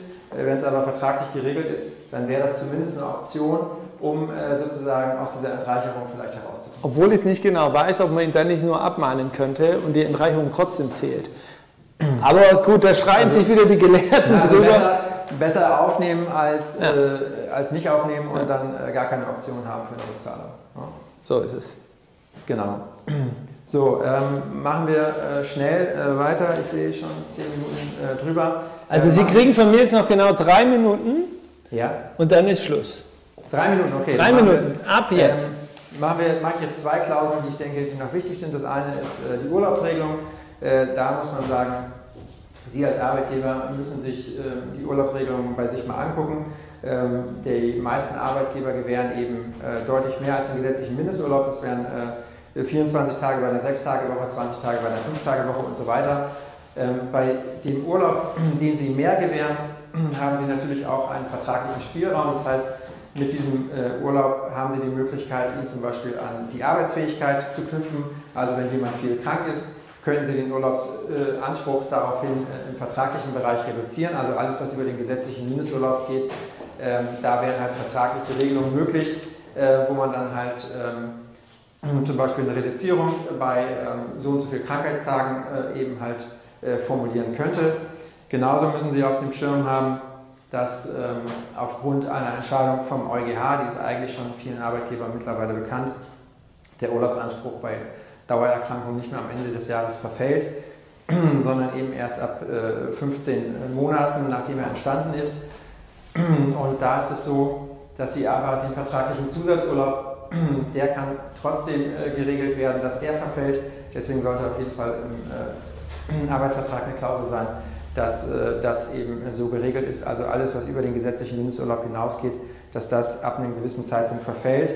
Oder dass Sie Regelungen drin haben, dass bestimmte ähm, äh, Krankheitstage zum Beispiel dazu führen, dass der Urlaubsanspruch sozusagen sich verkürzt. Ähm, das wäre noch zum Urlaub zu sagen. Dann jetzt noch äh, eigentlich eine der wichtigsten Klauseln, die in einem Arbeitsvertrag drin sein sollte, und das ist die sogenannte Ausschlussfrist. Ähm, da ist dann geregelt, dass Ansprüche äh, nur innerhalb einer bestimmten Zeit eben geltend gemacht werden können. Üblich ist es eine doppelte Ausschlussfrist, sozusagen zweimal drei Monate. Die steht auch in vielen Arbeitsverträgen drin, aber ähm, Sie müssen ganz viel bei der Rechtsprechung äh, und äh, bei der Gesetzeslage beachten. Da ist es so, dass äh, zum Beispiel drinstehen muss, dass es nur in äh, Textform sozusagen dieser Anspruch geltend gemacht äh, werden muss. Äh, früher stand halt immer drin, äh, der Anspruch muss innerhalb von drei Monaten schriftlich geltend gemacht werden. Das ist also unwirksam. Genauso ist es halt erforderlich, dass bestimmte Ansprüche nicht ausgeschlossen werden dürfen, nämlich zum Beispiel ein Anspruch auf Mindestlohn. Da muss also in der Klausel auf jeden Fall drinstehen, dass diese Ausschlussfrist nicht greift bei Mindestlohnansprüchen oder ähm, fraglich ist halt auch bei Ansprüchen, die auf Vorsatz oder unerlaubter Handlung beruhen. Ähm, da müssen Sie also gucken, dass Sie keine Klausel haben, die dann nachher unwirksam ist, weil das führt dann dazu, dass sich zwar der Arbeitnehmer, weil er diese Klausel nicht verwendet, sondern Sie als Arbeitgeber der Verwender sind, auf diese Klausel berufen kann. Also Ihre Ansprüche sind dann trotzdem nach drei Monaten, wenn Sie Pech haben, weg. Ähm, aber Sie als Arbeitgeber können sich nicht darauf berufen. So, das war dann jetzt äh, Vertragsklauseln Light. Ähm, ich habe zwar jetzt nicht so viel geredet wie mein Kollege äh, Herr Fademann, äh, ich hoffe, es hat Ihnen aber auch gefallen. Komm, wir gehen mal alle nach vorne, machen mal, schön, sagen mal Tschüss. Sie merken natürlich auch, dass in diesem äh, Bereich Arbeitsvertragsklauseln, ähm, soweit hoffe ich, das jedenfalls Ihnen äh, sozusagen äh, mit auf den Weg gegeben äh, zu haben, dass da viel Potenzial drin ist und dass es eben einfach auch die Grundlage für das weitere arbeitsrechtliche Arbeiten ist und deswegen halt eben auch so wichtig. Ja, also von meiner Seite vielen Dank Ja. Haben Sie ja. mal was zu sagen, Chef? Ich, ja, Herr Fahlemann will vielleicht auch noch was Danke sagen. Ich so nach der Hierarchie. Also ich, ich sage zuerst was, dann kommt äh, der Nächsthörer, das, äh, halt, äh, Herr Fahlemann, der sagt jetzt auch noch mal was und dann kommt am Ende. Ich wusste gar nicht, dass Sie mich als, ne, als hörstehend ansehen. Höchste, höchste Instanz. Echt, ist das so? Ja. Viel, viel mehr geht Das höre hör ich viel zu selten. Ach bitte. Ja. Ach bitte. Also möchtest du noch was sagen? Ich habe mich vorhin ja schon verabschiedet. Ja, also, ähm, deswegen würde ich jetzt das letzte Wort an Bitte überlassen. Ja, nee, also ich fand es toll hier mit Streaming. Das am Anfang hat ja nicht so richtig gut geklappt. Ich glaube, zweimal sind wir rausgeflogen, da mussten zwei neue Links verschickt werden. Irgendwie waren dann nachher doch trotzdem 50 äh, Teilnehmer da. Ich denke, das waren fast alle, ein paar Mal vielleicht verloren unterwegs. Mit denen muss ich mich nachher mal zusammenrufen. Ich hoffe, es hat Ihnen Spaß gemacht. Wie gesagt, ich möchte Sie bitten, uns zu schreiben, wenn Sie ein anderes Format möchten. Wir haben ja einmal eben dieses Arbeitgebertreffen-Format früher gehabt, da haben uns alle zusammengesetzt, jeder konnte was erzählen, wie er es in der Praxis so erlebt. Das fällt hier jetzt so ein bisschen weg, sondern es ist einfach ein Vortrag von vorne weg. Und ich finde das fast ein bisschen schade. Aber dieses Treffen zur Zeit, die Corona-Zahlen zeigen es auch, es ist einfach unzumutbar. Wieso haben Sie jetzt keine Maske auf? Sie sind näher als anderthalb Meter. Oh ja. Guck mal, so, na, so fängt das schon an. Ja, stimmt. Äh, da muss man tatsächlich ein bisschen aufpassen in heutiger Zeit. Das andere sind eben unsere vierstündigen Seminare, die machen wir so von vorne weg. Finde ich eigentlich ganz gut. Auch mir hat es heute gut gefallen. Ich finde auch die Fragen über den Chat hat recht gut funktioniert. Ich habe mal meine privaten E-Mails auf wittig.ra-wittig.de gecheckt. Da kam aber keine Frage. Ähm, jetzt ist noch eine Frage gekommen. Ach, Kamera 1, ah, okay. Äh, habe die, die, privaten E-Mails gecheckt, äh, da kam aber nichts. Also scheint es doch so zu sein, dass sich alle bei Gmail oder Google Mail haben anmelden können. Von dem her denke ich, dass alle Fragen hier auch angekommen sind. Wenn noch Fragen im Nachgang sind zum Vortrag, zu Arbeitsverträgen, bitte uns schreiben. Äh, das Angebot steht auch. Schicken Sie mal Ihren aktuellen Arbeitsvertrag, den Sie jetzt zurzeit aktuell benutzen, rüber. Gucken wir drauf und streichen ihn an, was wir blöd finden oder diskussionswürdig. Dann quatschen wir. Das gilt nicht nur für die Bremer Mandanten, weil wir jetzt hier aus Bremen senden, sondern natürlich auch die Münchner. Äh, wir wollen auch den Münchner Kollegen äh, anständig Arbeit machen und auch den Hamburgern, Berlinern, Hannoveranern und so weiter. nutzen Sie die Chance, schicken Sie es eben rüber und dann gucken wir eben drauf. Gut, ansonsten würde ich sagen, bis zum nächsten Mal. Ich hoffe, es hat Ihnen auch gefallen. Und ähm, schalten wir jetzt ab. Sag ich jetzt Klappe oder was sage ich? ich ich sage einfach Tschüssi, Klappe, alles andere per E-Mail bitte. Dankeschön. Vielen Dank. Ja, ciao. Tschüss. Gut.